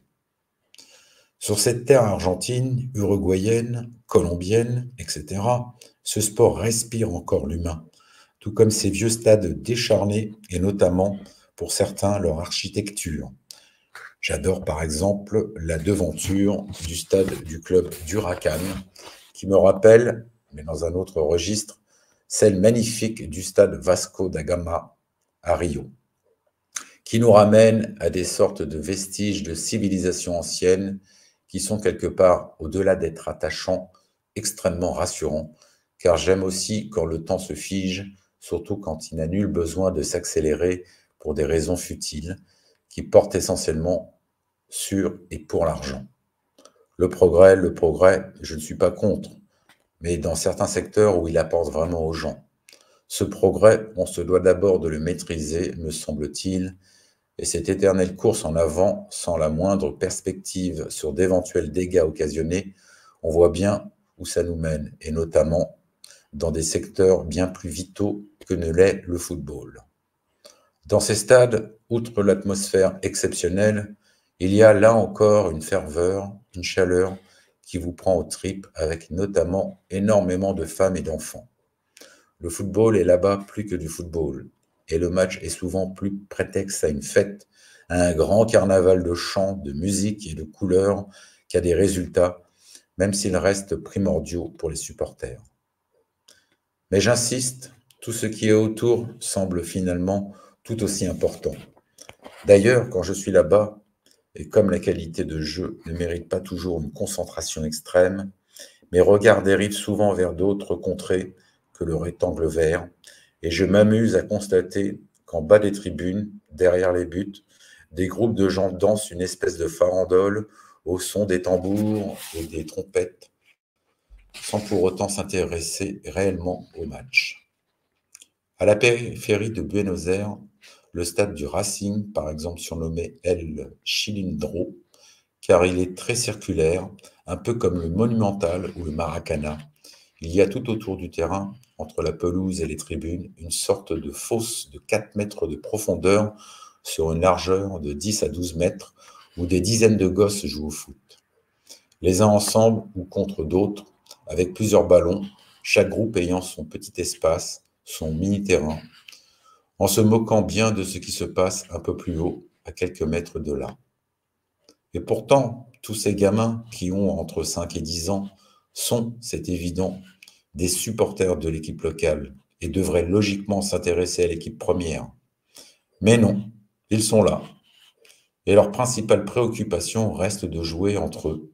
Il y a même un gros chien noir qui déambule d'un mini-match à l'autre et que tous ces enfants connaissent bien, bien manifestement, puisqu'il a droit à bon nombre de papouilles et quand il interrompt le jeu d'une partie, personne ne semble lui en tenir rigueur.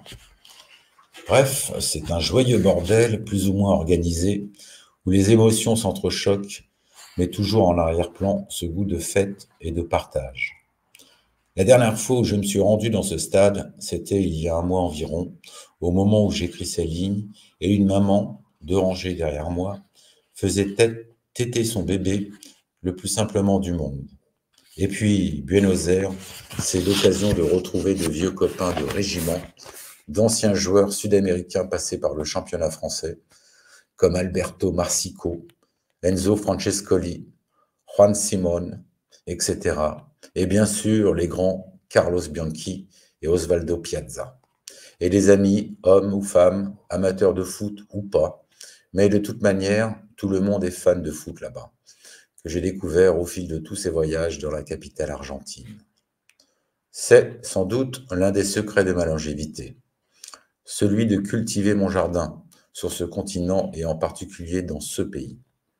Et pour certains qui me demandent la recette de mon élixir de jouvence, d'un enthousiasme qui persiste en dépit des années qui s'écoulent, je leur réponds qu'il consiste, à me baigner régulièrement dans ces eaux magiques sud-américaines, dignes des meilleures thalassothérapies. Oui, tout cela y joue sans doute un très grand rôle. Et aussi, je crois, de toujours chercher le beau qui nous entoure, et ce, même si l'environnement peut paraître morose. À côté d'une bouse de vache, il y a toujours la beauté et la fierté d'un coquelicot, au loin le chant d'un oiseau ou bien des merveilles encore, si on y regarde d'assez près. Cette petite philosophie de bazar, je vous l'accorde, a contribué, à n'en point douter, à ce que mes pétales ne fanent pas trop vite. Et ce, même si je suis touché par les côtés si moches de la vie. Je ne suis pas le ravi de la crèche non plus. Ha, ha, ha. Mais le aime enfin les arbres et détourne-toi du conforme et de l'inconforme de Léo Ferré me convient assez bien. Pour terminer avec l'Argentine et l'Amérique du Sud d'une manière générale, il y a aussi cette gentillesse des gens, ces sourires, et ce, même si ce n'est pas facile pour beaucoup d'entre eux, cette joie et cette envie de vivre, cet esprit positif et cette énergie qui font vraiment du bien. À ce titre, j'ai peu apprécié le rejet des Français à la rencontre durant et après la Coupe du Monde, sous prétexte que certains supporters avaient eu des paroles honteuses, c'est vrai, quant aux origines de certains de nos footballeurs, ou des gestes déplacés de leur gardien de but au moment de recevoir le gant d'or, synonyme de meilleur gardien du tournoi. Des cons, il y en a partout, des gestes ridicules aussi, et on ne peut pas se limiter à ça pour parler d'un peuple ou d'une nation. Ou alors, regardons-nous d'abord dans notre propre glace. Mais quel pays fantastique tout de même, et de football notamment, qui nous a pondu au passage les deux petits génies gauchers que l'on sait. Si vous aimez le foot et que vous ne connaissez pas encore ces lointaines contrées ou cette capitale où les, dé... où les derbies sont monnaie courante, je ne saurais que trop vous conseiller de vous y rendre au plus vite dans la mesure de vos moyens et possibilités, et vous constaterez que le soleil qui brille sur le drapeau argentin, ciel et blanc, n'est ni un usurpateur, ni un leurre, et que ces rayons vous donneront une belle banane sur le visage et des, tas de fruits aux mille couleurs au plus profond de votre cœur. C'est lire, hein Chapitre 17. L'insoutenable légèreté du résultat. La réponse est dans le vent. En football, ce qui a considérablement changé depuis deux ou trois décennies, c'est cette totale incertitude autour du résultat. Alors, vous me direz que c'est aussi ce qui fait son charme et qui ajoute un peu de piment dans le colombo de porc, de ma maman chérie qui se doit d'être très relevé. Hum, pas si simple. hein. Sauf si l'écart entre deux équipes est vraiment considérable. Et encore, hein, on va dire que tout se joue 3 à 5 fois sur 10 en moyenne sur quelques détails. Un tir, un arrêt, un tacle, un coup de sifflet, un poteau, un coup de pied arrêté, etc. Opportun ou pas. Dans ces conditions, donner 80 à 90% d'importance à ce si hasardeux résultat dans les commentaires et autres analyses qui, su- qui suivront me paraît exagéré. Qu'il constitue la finalité de l'histoire, d'accord. Qu'il ait du coup une importance majeure, je le concède aussi.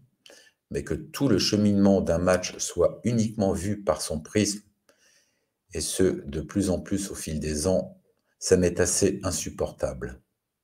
Un match est rarement blanc d'un côté et noir de l'autre, et certains ont même 49, 49 nuances de gris, mais tout cela sera balancé d'un extérieur du pied avec la fameuse formule sous-jacente qui tue. Il a gagné, il avait donc raison. Ce qui laisse entendre, bien sûr, que celui qui a perdu avait tort. Je schématise à l'excès Pas tant que ça. Un peu au niveau de certaines lorgnettes, je l'admets, mais, et je le regrette, pas vraiment pour d'autres. Celles en particulier dont un bon ou un mauvais résultat conforte démesurément les jugements de certains à la base. Les échanges d'après-match entre spécialistes seront sans doute, dans ce cas, biaisés, volontairement ou pas, par des partis pris existants au départ. Ce manque de recul complique certaines possibilités d'ouverture sur pas mal de débats, et cette légèreté de tant de résultats amplifie les choses si le score est le seul maître du jeu. Dans bien des sports, une forme de logique peut aussi souvent faire office de conclusion, mais dans le foot actuel, nous en sommes si loin. La logique d'un match de football est de, plus en plus difficile à déceler. Je parle d'un match, pas d'une compétition. Effectivement, si celle-ci se déroule sur une très longue période, et donc avec pour chaque équipe des dizaines de rencontres, on pense à un championnat. Il y a de très fortes chances, chances pardon, que le meilleur, ou un ou deux autres clubs qui en seraient assez proches, sauf vrai accident, ait, au clair de la lune, le dernier mot de la plume. Maintenant, si le vainqueur est déclaré sur un ou deux matchs, désolé Pierrot, je vais laisser sonner la pendulette. hein.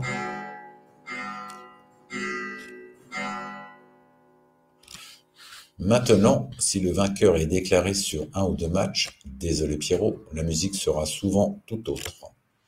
Auparavant, le football n'était pas une science exacte, et encore heureux. Mais les surprises rencontraient, bien des difficultés à se faufiler dans des fournis forêts, dans des fournis forêts. Alors, comme dans le tourbillon d'incertitude du foot actuel, elles sont devenues monnaie courante. Voyons la Coupe de France, compétition née en 1918. Il faudra, avec le Havre, attendre 41 ans pour voir une formation de deuxième division l'emporter. Et pour une équipe de ce niveau, arriver au stade d'une finale était déjà, on peut le souligner, une sorte de petit miracle. Notez bien maintenant qu'au XXIe siècle, quatre équipes de quatrième division, oui, quatrième division, sont arrivées en demi-finale et une de cinquième, Calais, s'est hissée en finale et a fait plus ou moins jeu égal avec le FC Nantes. Défaite par un but d'écart le 7 mai 2000. D'ailleurs, la victoire des Canaries ne, ne se dessinera réellement qu'à l'ultime minute du temps réglementaire, et encore à la suite d'un penalty assez litigieux. L'année suivante, c'est une équipe de troisième division, Amiens, qui butera sa corne de licorne, encore en finale, et tenez-vous bien, au tir au but devant Strasbourg. En 2012 et 2018, ce sont encore deux équipes de cette troisième catégorie qui accéderont à l'ultime palier, l'US Quevilly et les Herbiers. Et, sur- et sur ces 25 dernières années, il y en aura eu cinq de deuxième division. L'une d'entre elles, Guingamp, réussissant à lever cette coupe où se trouve un petit ange tout en haut à son extrémité. Derrière cela, il faut bien comprendre que tout le monde, depuis un paquet d'années, je parle évidemment au plus haut niveau, ce que la troisième et surtout les quatrième et cinquième divisions ne sont pourtant pas, possède une condition physique et un mental adapté, et que le fait de surprise d'un joueur ou d'une équipe concernant le camp d'en face est quasiment absent, puisque tout le monde connaît ses adversaires, ses forces comme ses failles, sur le bout des crampons. Mais ce n'est pas tout. Par exemple, il n'y a guère d'évolution majeure dans les tactiques. Elles existent cependant, mais plutôt en s'adaptant à un adversaire, rarement sur la durée. Et si, certes, le talent peut faire des différences, il est moins présent dans la mesure où les footballeurs sont devenus robotisés. Le physique prenant de plus en plus d'importance. Le talent, surtout d'un point de vue individuel, s'avère moins primordial, moins déterminant, puisqu'il est désormais plus facile à annihiler. Plus on avance, et moins une équipe n'impose réellement son football. Le physique, encore lui, associé au mental et à l'organisation tactique, nivelle tellement les valeurs. En revanche, et c'est nouveau, bon, ça ne date pas vraiment d'hier, mais c'est, disons, plus récent, les attaques d'un côté comme de l'autre se multiplient.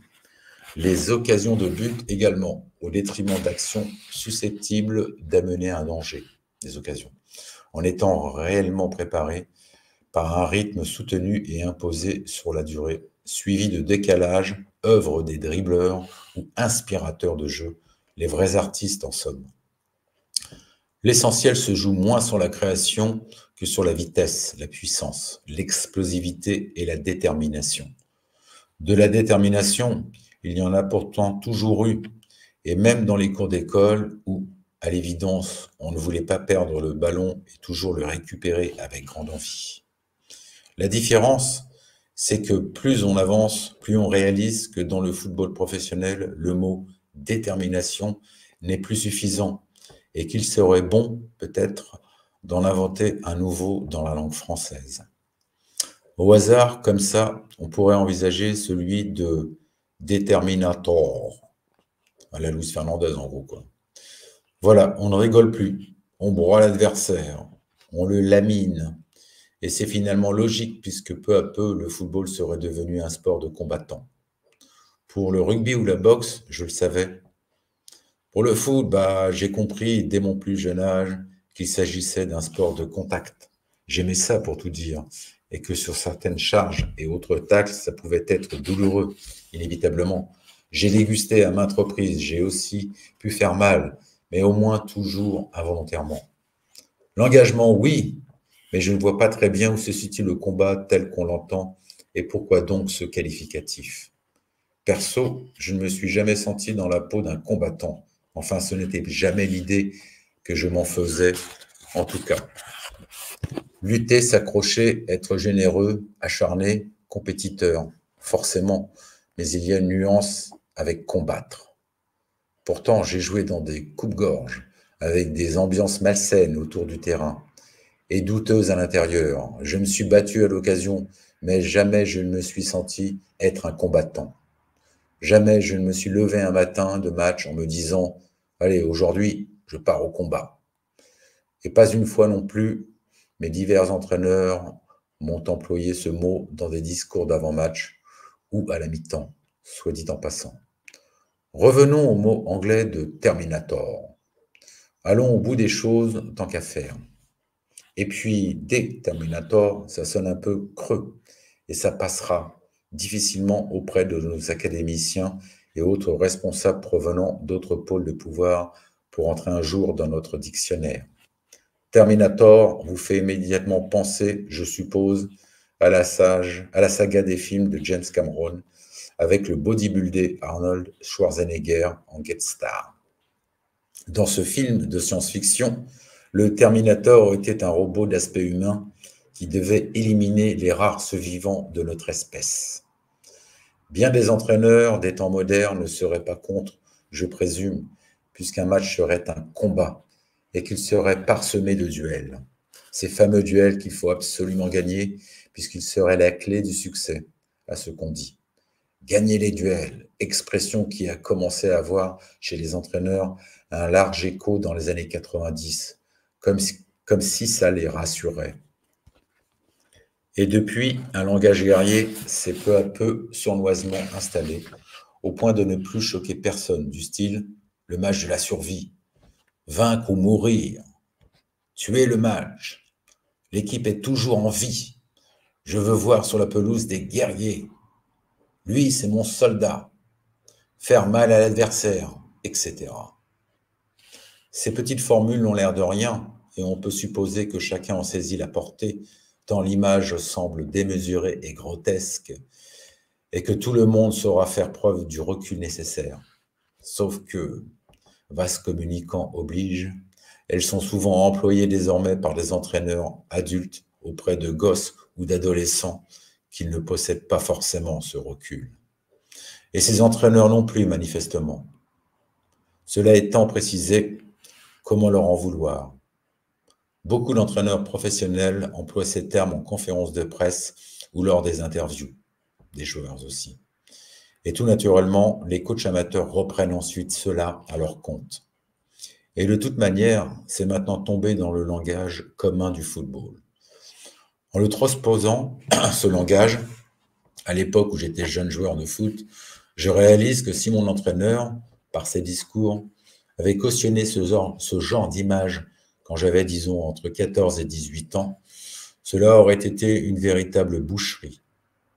Bon, pas à ce point non plus, je l'espère, car j'avais bien en moi, très jeune, une certaine idée du football. Et filer des coups à un joueur d'en face n'en faisait pas partie. Après, c'est vrai que je n'étais pas vraiment tendre dans les contacts, mais jamais avec violence pour autant. Plus dans l'esprit rugby, pourrait-on dire. Je jouais libéraux, défenseur central donc, et j'étais par ma position sur le terrain assez souvent dans le contact physique pour rattraper des actions où l'adversaire semblait avoir fait la différence. Alors, supposons que mon entraîneur me dise, par exemple, à la d'un match, l'avancante d'en face nous fait la misère. Vous le regardez faire. Moi, je veux des combattants, des guerriers sur le terrain, et patati, et patata.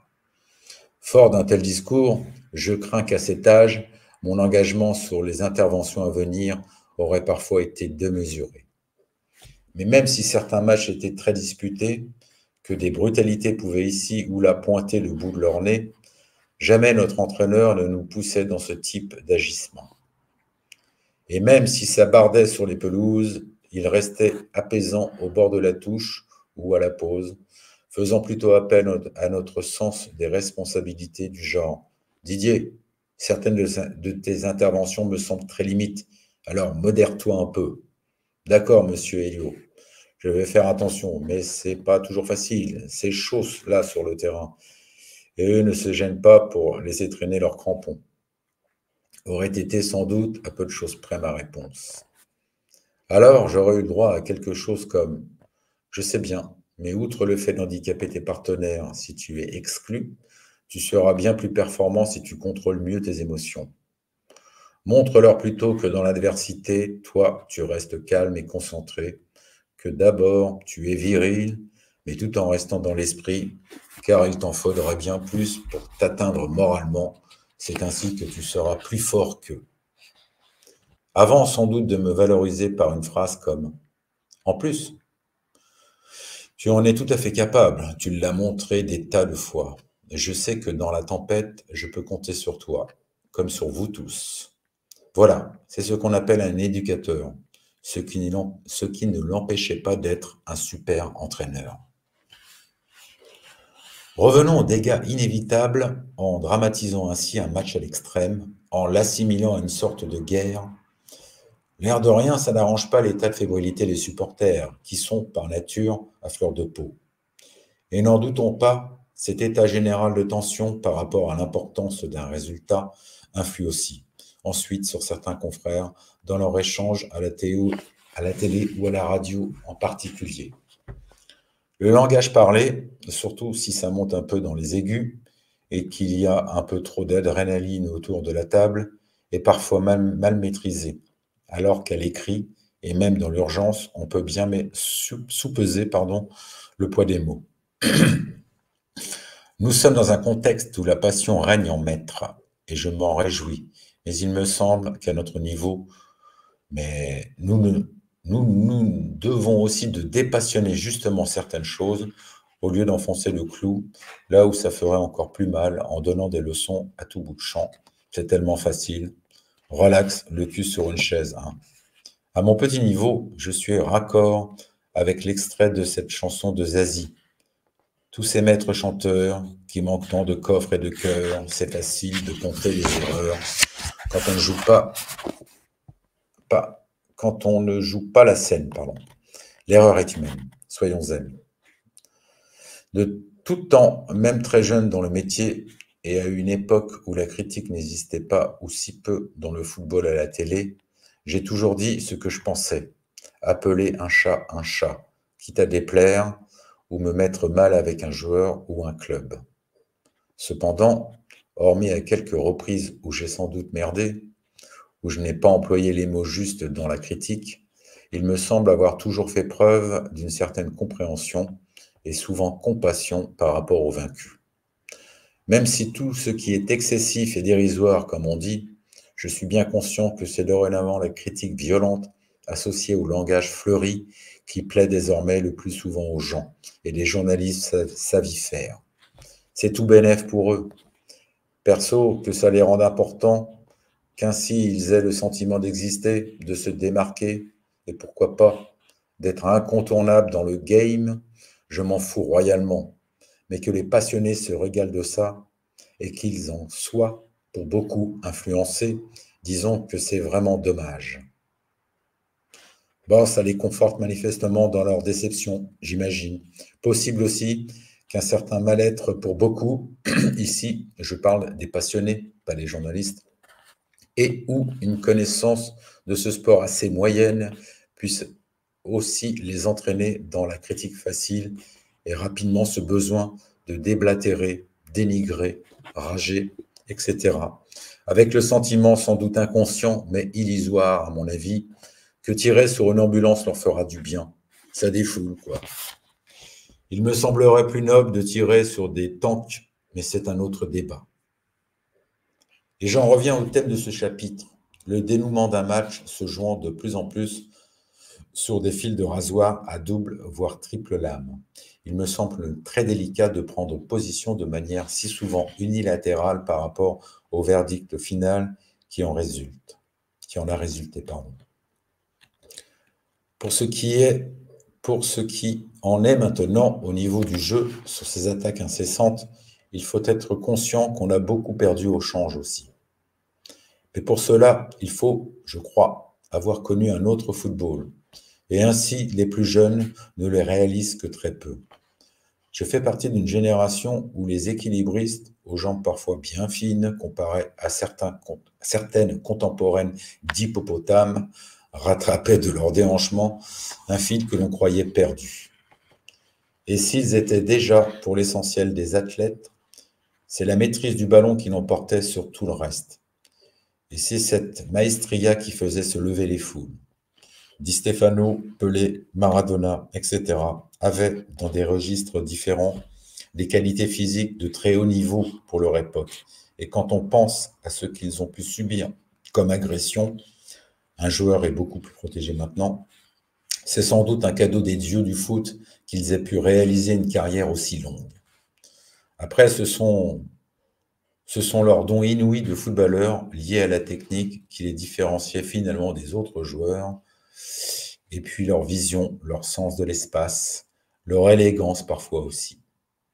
Ceux d'apparence plus chétifs, comme Best ou Cruyff par exemple, étaient plus dans une sorte de grâce dans l'esquive et avec leur qualité très poussée de vitesse et de changement de rythme, faisaient les différences que l'on sait. Best, Cruyff, comme on parle d'eux, mais tant d'autres encore, ne gagnaient pas leur duel.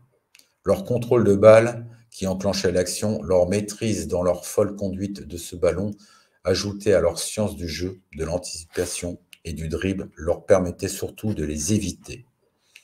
Pour un attaquant, si tu évites un duel, tu seras aussi efficace, sinon plus, que si tu les gagnes. En réalité, tu le gagnes en l'évitant. Sans maîtrise, la puissance n'est rien, concluait une publicité très connue. Et celui qui l'illustre aujourd'hui le mieux, comme autrefois des Waddle ou Hoddle, des Zidane et Rui Costa, et plus récemment des Pastore. Quel malheur ce mollet aussi fragile que le talon d'Achille. Et Iniesta, sans oublier un Messi du temps de sa splendeur, et je ne vais, pas tous les citer. Reste encore Karim Benzema, l'un des derniers survivants de ce cercle des poètes disparus. Tiens, je constate au passage que tous les joueurs cités, tout en étant capables de jouer à une touche de balle, si le jeu l'imposait, avaient cette faculté, grâce à leur technique et leur vision panoramique sur une situation de jeu, de porter et garder le ballon un certain temps, et ce même ensuite pour quelques-uns, dans des espaces infiniment réduits. Voir Karim Benzema donner l'impression d'arrêter le temps avec la balle en pleine surface de réparation, là où pourtant tout se joue en une fraction de seconde, est un bonheur rare. Et nombre de ses buts ou de ses actions dites décisives pour un partenaire sont vraiment des œuvres d'art. Sa série de dribbles le long de la ligne de but dans un match retour de Ligue des Champions avec le Real contre l'Atlético Madrid, ou son but pour la France face à la Belgique dans une demi-finale de Coupe des Nations ont quelque chose d'irréel. Surtout qu'il exécute les actions en question en toute décontraction, complètement relâché, dans une position où il devait pourtant entendre le bruit et ressentir le souffle des moissonneuses batteuses qui l'encadraient. Dans une autre vie, il devait être un vieux sage hindou, pas possible autrement. J'ai souvent dit dans l'émission L'équipe du soir ou sur certains podcasts de l'équipe.fr qu'on devrait faire peindre par des jeunes artistes de grands tableaux représentant les actions ou des buts de Karim Benzema et les exposer dans des galeries d'art de manière itinérante à travers le monde. Nos jeunes, nos jeunes artistes n'auraient qu'une condition dans le cahier des charges, celle d'être assez abstraits au niveau de leur œuvre, car pour Karim Benzema, avec son grand ami et complice qu'est le ballon, ce dernier étant finalement un prolongement de ses pieds ou de son corps, tous les chemins qu'il pouvait prendre en les créant, je vais revenir sur ce point, de manière si juste et si pure, puisque tout est réalisé d'instinct, devrait nous ramener à bien des beautés de la vie. En écrivant Prendre un chemin en le créant, je fais, référence au grand poète espagnol Antonio Machado et à l'un de ses textes bien connus qui dit la chose suivante. caminante no rei camino seas camino al andar. Désolé pour mon espagnol, je ne parle pas espagnol. Passant, il n'y a pas de chemin, on trace son chemin en marchant. Karim Benzema, sur bien les actions, n'a pas de chemin proposé. C'est à lui de le trouver, de le découvrir, se l'inventer, le tracer si on reprend le texte du poète en marchant. Bon, pour Karim Benzema, ce sera un peu en courant, mais légère la course. Hein Et dans les surfaces de réparation, on peut même considérer qu'il marche sur certaines actions. Voilà, et sur l'invitation pour visiter cette galerie à Paris, Taïwan ou Montevideo, on intitulera cela le long chemin qui mène à toi. Ces chemins qu'il éclaire de son talent et de sa classe paraissent si harmonieux et pourtant ils sont si, si sinueux et tortueux aussi pour certains. A long and winding road, chantait Polo. Mais ici, ni pleurs, ni mélancolie, ni tristesse, ce qui était en toile de fond dans la célèbre chanson de McCartney. Juste la joie et l'émotion qui te délivrent encore. Mais oui, restons positifs, la splendeur et la beauté de ce sport. Heureux qui, comme Karim, arrête sur son chemin, je le répète, le temps, et fait son long voyage en y définissant son espace, son rythme en sorte de lévitation. Il donne tellement l'impression de survoler tranquillement les obstacles et les propres changements de celui-ci, là où il ne devrait y avoir, paraît-il, qu'autoroute et vitesse maximale 90 minutes durant. Alors, dans les, matchs, pardon, disais-je, bah, je dribble aussi et je ne perds pas le fil non plus. Les actions qui s'empilent et s'empilent comme s'il en pleuvait, l'une remplaçant l'autre pour celle qui effacera la précédente, etc., me donne à force le tournis. En schématisant à l'extrême, nous dirons que nous sommes passés d'un jeu d'échecs à un jeu de dames, d'un film érotique à un film porno. C'était une métaphore qui m'était venue à l'esprit dans une lointaine interview. Cela avait fait sourire et pourtant, en y réfléchissant bien, la préparation au désir, cette autre forme de jouissance qui prépare l'ultime, se fait rare. Et c'est sous le règne de la loi phallique que le football semble maintenant soumis. Louis Buñuel et son fameux obscur objet du désir ne sont plus vraiment d'actualité. Hein. Il n'y a plus rien d'obscur, et de fait l'effet de surprise est bien moins présent, car le rythme fou se doit de toujours tenir le spectateur en haleine. Et pour continuer à consommer, cela fait longtemps que le supporter n'est plus considéré comme spectateur mais comme consommateur, il ne doit jamais s'ennuyer, sinon il y a le risque qu'il ne revienne pas, ou moins régulièrement. Pour le téléspectateur, la rupture peut s'avérer bien plus grande, car la tentation de la zapette est grande. Et comme ce sont maintenant les droits télé, et notamment les audiences qui les accompagnent, qui régissent ce sport, le droit à une certaine lenteur devient proscrit. Cette évolution du foot fera au moins plaisir à mon caméraman américain Dennis, à l'époque du magazine Mac Max sur Canal+, à qui j'avais fait découvrir le football, le soccer pour lui, un soir d'octobre à Mexico. Nous étions là-bas pour réaliser un documentaire sur la tentative d'un nouveau record du monde de l'heure, catégorie femme, qui avait battu d'ailleurs Gianni Longo sur la célèbre piste où s'était déjà illustré dans la même quête Eddie Merckx, puis Francesco Moser notamment. Bref, j'avais vu qu'un match de première division mexicaine se disputait en soirée dans le secteur de notre hôtel. J'avais oublié le nom des équipes, celui du stade également. C'était pas l'Aztec en tout cas que je connaissais bien. Mais je me souviens que Denis s'est fait chier comme un rabord durant tout le match, ne comprenant pas que le ballon aille trop longuement à son goût de pied en pied. Et ce, sans vraiment le faire progresser à grande vitesse vers le but adverse les passes latérales ou pire, en retrait, il ne connaissait pas. Nous étions encore, il faut dire, en 89, et dans un lieu où l'altitude est déjà bien haute, donc les actions étaient assez élaborées à base de jeux courts, avec une volonté de déstabiliser l'adversaire dans ses 25 derniers mètres, au lieu de grandes courses et d'une énergie de dingue dépensée en courant de tous les côtés vers l'avant sur la récupération de balles. Ben oui, Denis, ce n'est pas comme avec la boxe, le hockey, le foot américain ou le basket, où c'est très intense sur quelques minutes. Avant un temps mort où tu peux déguster chips et soda à la noix en te farcissant de bonnes tranches de publicité. Et puis le foot, c'est une musique, une harmonie, et c'est le paradoxe pas toujours harmonieuse. Le foot, c'est un rythme, mais pas nécessairement le même. Tout comme les atmosphères qui changent au gré des chants, des couleurs et du vent. En résumant, ce n'est pas toujours pim pam poum et pipo. C'est une culture difficile à assimiler si tu n'es pas né dedans. Et tu peux t'ennuyer grave si certaines portes sont fermées. Et dans une mouise totale si, comme, comme pour la maison bleue adossée à la colline, ceux qui vivent là ont jeté la clé.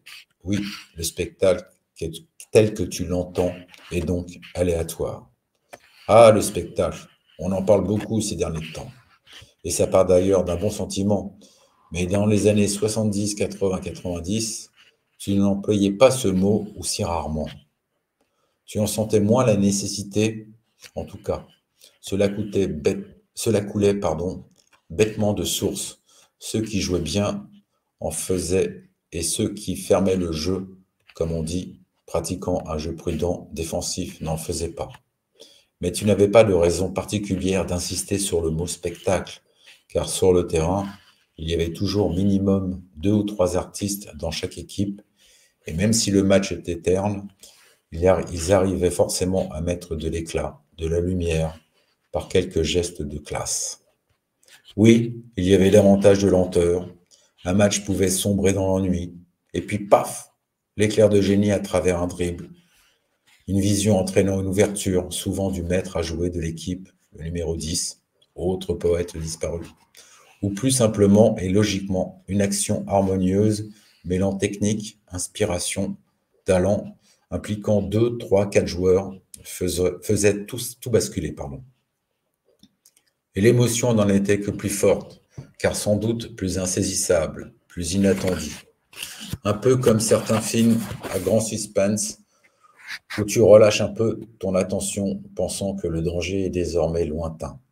Et bing D'un seul coup, d'un seul, toutes les personnes dans la salle sursautent.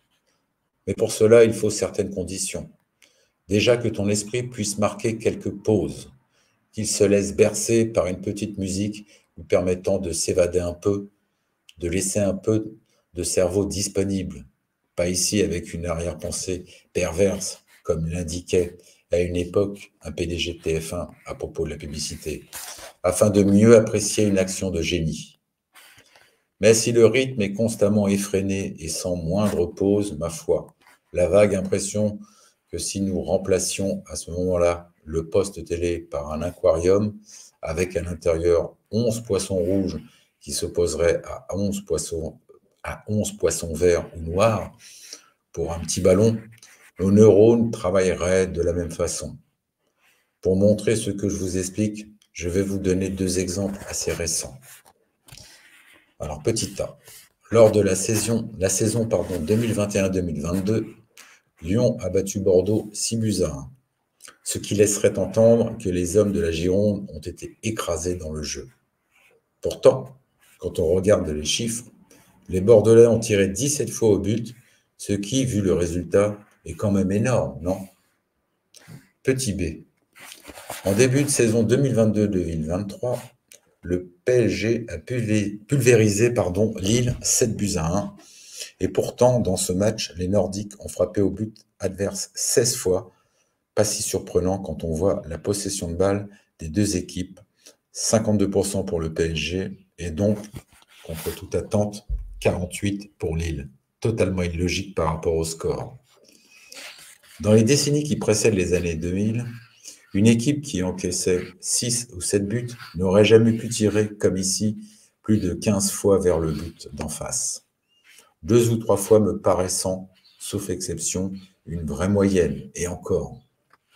Alors, tirer au but ne signifie, ne signifie pas nécessairement un réel danger pour l'équipe adverse, car il y a tir et tir, n'est-ce pas? Mais cela montre bien, tout de même, qu'à bien des reprises, l'équipe qui a donné l'impression d'être submergée au niveau du résultat tout au moins, a été loin d'être acculée durant tout le match. Alors qu'à une période, on aurait estimé, comme l'indique la formule, qu'elle n'avait pas vu le jour. Ah, mais j'ai bien mieux aujourd'hui dans un article de l'équipe par rapport à la présentation du match Strasbourg-Lyon de ce soir. Nous sommes en effet, au moment où j'écris tout ça, le vendredi 28 avril 2023 et je prépare ce match que je vais commenter ce soir pour TV5 Monde.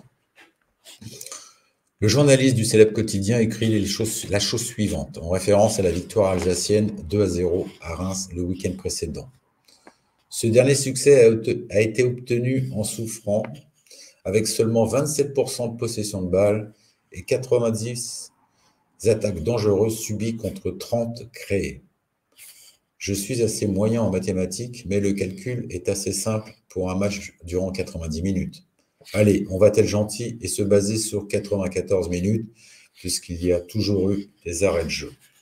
Bon, 120, 120 attaques dangereuses, c'est bien précisé, donc digne d'intérêt en 94 minutes. Cela nous en fait en moyenne plus d'une par minute. C'est fou, non? À un point qu'il a dû un peu forcer sur les chiffres, à mon avis, car 120 me semble impossible. Mais en tout cas, il y en a manifestement eu beaucoup, beaucoup, beaucoup. Je vais trancher au pifomètre sur la moitié, 60 donc, ça serait déjà très salé. Même avec 60, tu restes finalement en apnée. 120, t'es mort, en permanence. Le Grand Bleu et Jacques Mayol sont de vrais nains de jardin. Et on va me dire que les gens se sont régalés. On ne peut pas retourner un peu le problème et se dire aussi qu'avec tous ces tueurs de mouettes, car un but pour 30 actions dangereuses, selon mon pifomètre, je le rappelle, sinon c'est le double, ma foi, il y a dû y avoir pas mal de tirs dans les nuages. On s'en doute, on s'en doute plutôt, on s'est sans doute, pardon, plutôt ennuyé ferme. L'abondance nuit plus qu'on ne le croit. Aller plus vite que la musique n'arrange pas pour autant les choses en général. Mais si mettre un 45 tours sur notre mode 78 tours deviendrait de la grande musique et se transformerait, selon vous, le tout en grand spectacle, je m'incline, nos problèmes. En tout cas, près de 35 ans après, il faut que je ramène Denis à un match de soccer. Cette fois, il ne va pas s'endormir.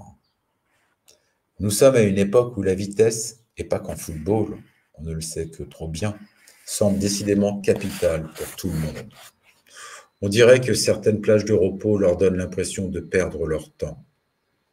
Mais quand tu t'enfiles autant de malbouffe, autant de matchs qui se ressemblent à ce point les uns les autres, tu n'as pas le sentiment de le perdre un peu ce temps, sauf si c'est ton métier, que tu sois journaliste à la rigueur, ou surtout dans un match, scout, superviseur, créateur de données, etc. Là où le football est bien pratiqué, tu le sais, en général, et trois ou quatre matchs hebdomadaires à suivre me sembleraient être finalement le maximum. Allez, cinq ou six, les semaines de Coupe d'Europe, mais bon, chacun est libre. hein. En attendant, il faut sans cesse, et même avec de la bouillie, capter l'attention du consommateur. Et c'est notamment pour cela que toutes les évolutions des règles du football ont été imaginées et rédigées au bénéfice de l'attaque. Certaines, ok, notamment la passe au gardien, celle où il pouvait prendre le ballon dans les mains. Les Italiens, spécialistes en la matière, histoire de préserver un résultat ou casser le rythme alors donné par l'équipe adverse, rendaient tous les passionnés véritablement chèvres, à la limite du supportable, certaines fois. C'était effectivement contre l'esprit du jeu. Dans le même temps, bizarrement, mais ce n'est à mon sens pas innovant, ce jeu est de plus en plus segmenté avec l'arrivée de la VAR, Video, Assistant Referee, et les cinq changements à la place des trois précédents. Historiquement, enfin, je veux dire au moment où ce sport a été codifié, il y a environ un siècle et demi donc, il n'y en avait pas le moindre pendant très longtemps, ce qui était injuste, nous sommes d'accord. Pour l'équipe dont un joueur se blessait gravement, remember Robert Bob Jonquet lors de la demi-finale de la Coupe du Monde en 58. Et puis on est passé à un changement par équipe, blessé ou pas, puis à deux. enfin à 3, avant d'estimer, lors de la période de la Covid-19, que pour la santé des joueurs, il serait préférable d'en avoir 5. La Covid-19 est bien moins présente de nos jours, mais comme par hasard, nous ne sommes pas revenus à trois changements. Pour en finir, je ne pense pas que cette légèreté du résultat soit la meilleure chose arrivée pour le football. Et toutes ces actions qui s'enchaînent maintenant de part et d'autre, même si cela le rend, paraît-il, plus spectaculaire, ne me semble pas être la meilleure des nouvelles non plus. Car cela se fait finalement au détriment d'une certaine poésie, d'une prise de risque, de certains gestes d'instinct que l'on pouvait trouver chez bien davantage de joueurs autrefois. Il n'est plus question que de statistiques, de data, de savoir si tel joueur a parcouru au moins X kilomètres, au-delà d'individualiser le football à l'extrême et de toujours chercher un héros ou un coupable. Ce sport, j'ai l'impression, s'américanise de plus en plus par bien des aspects. Aucun temps mort sur des périodes données, statistiques, volonté absolue de spectacle et parallèlement néanmoins des moments d'arrêt plus présents, je l'ai dit, imposés par l'avare et les changements de joueurs à gogo, etc.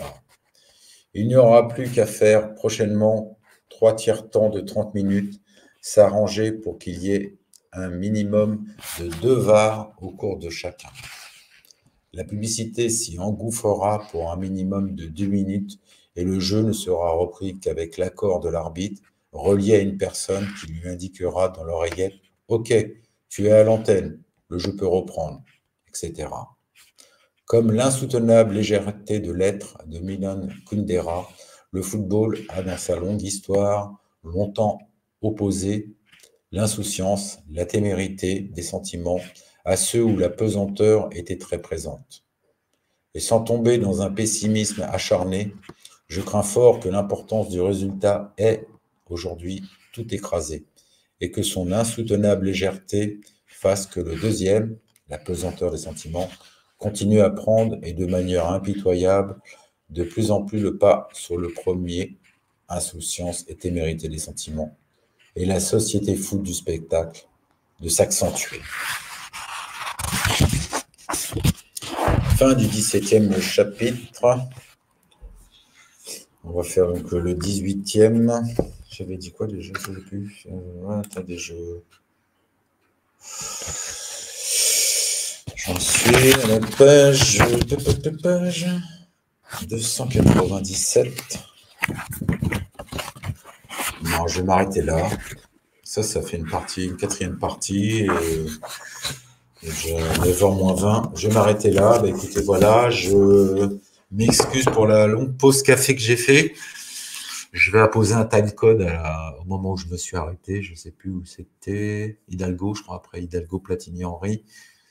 Apposer un timecode, comme ça, vous avez juste à cliquer sur le timecode. Ça vous donnera accès à la suite de la lecture de la troisième partie. Sur ce, je vous souhaite une excellente jour- journée et je vous dis à bientôt. Ciao.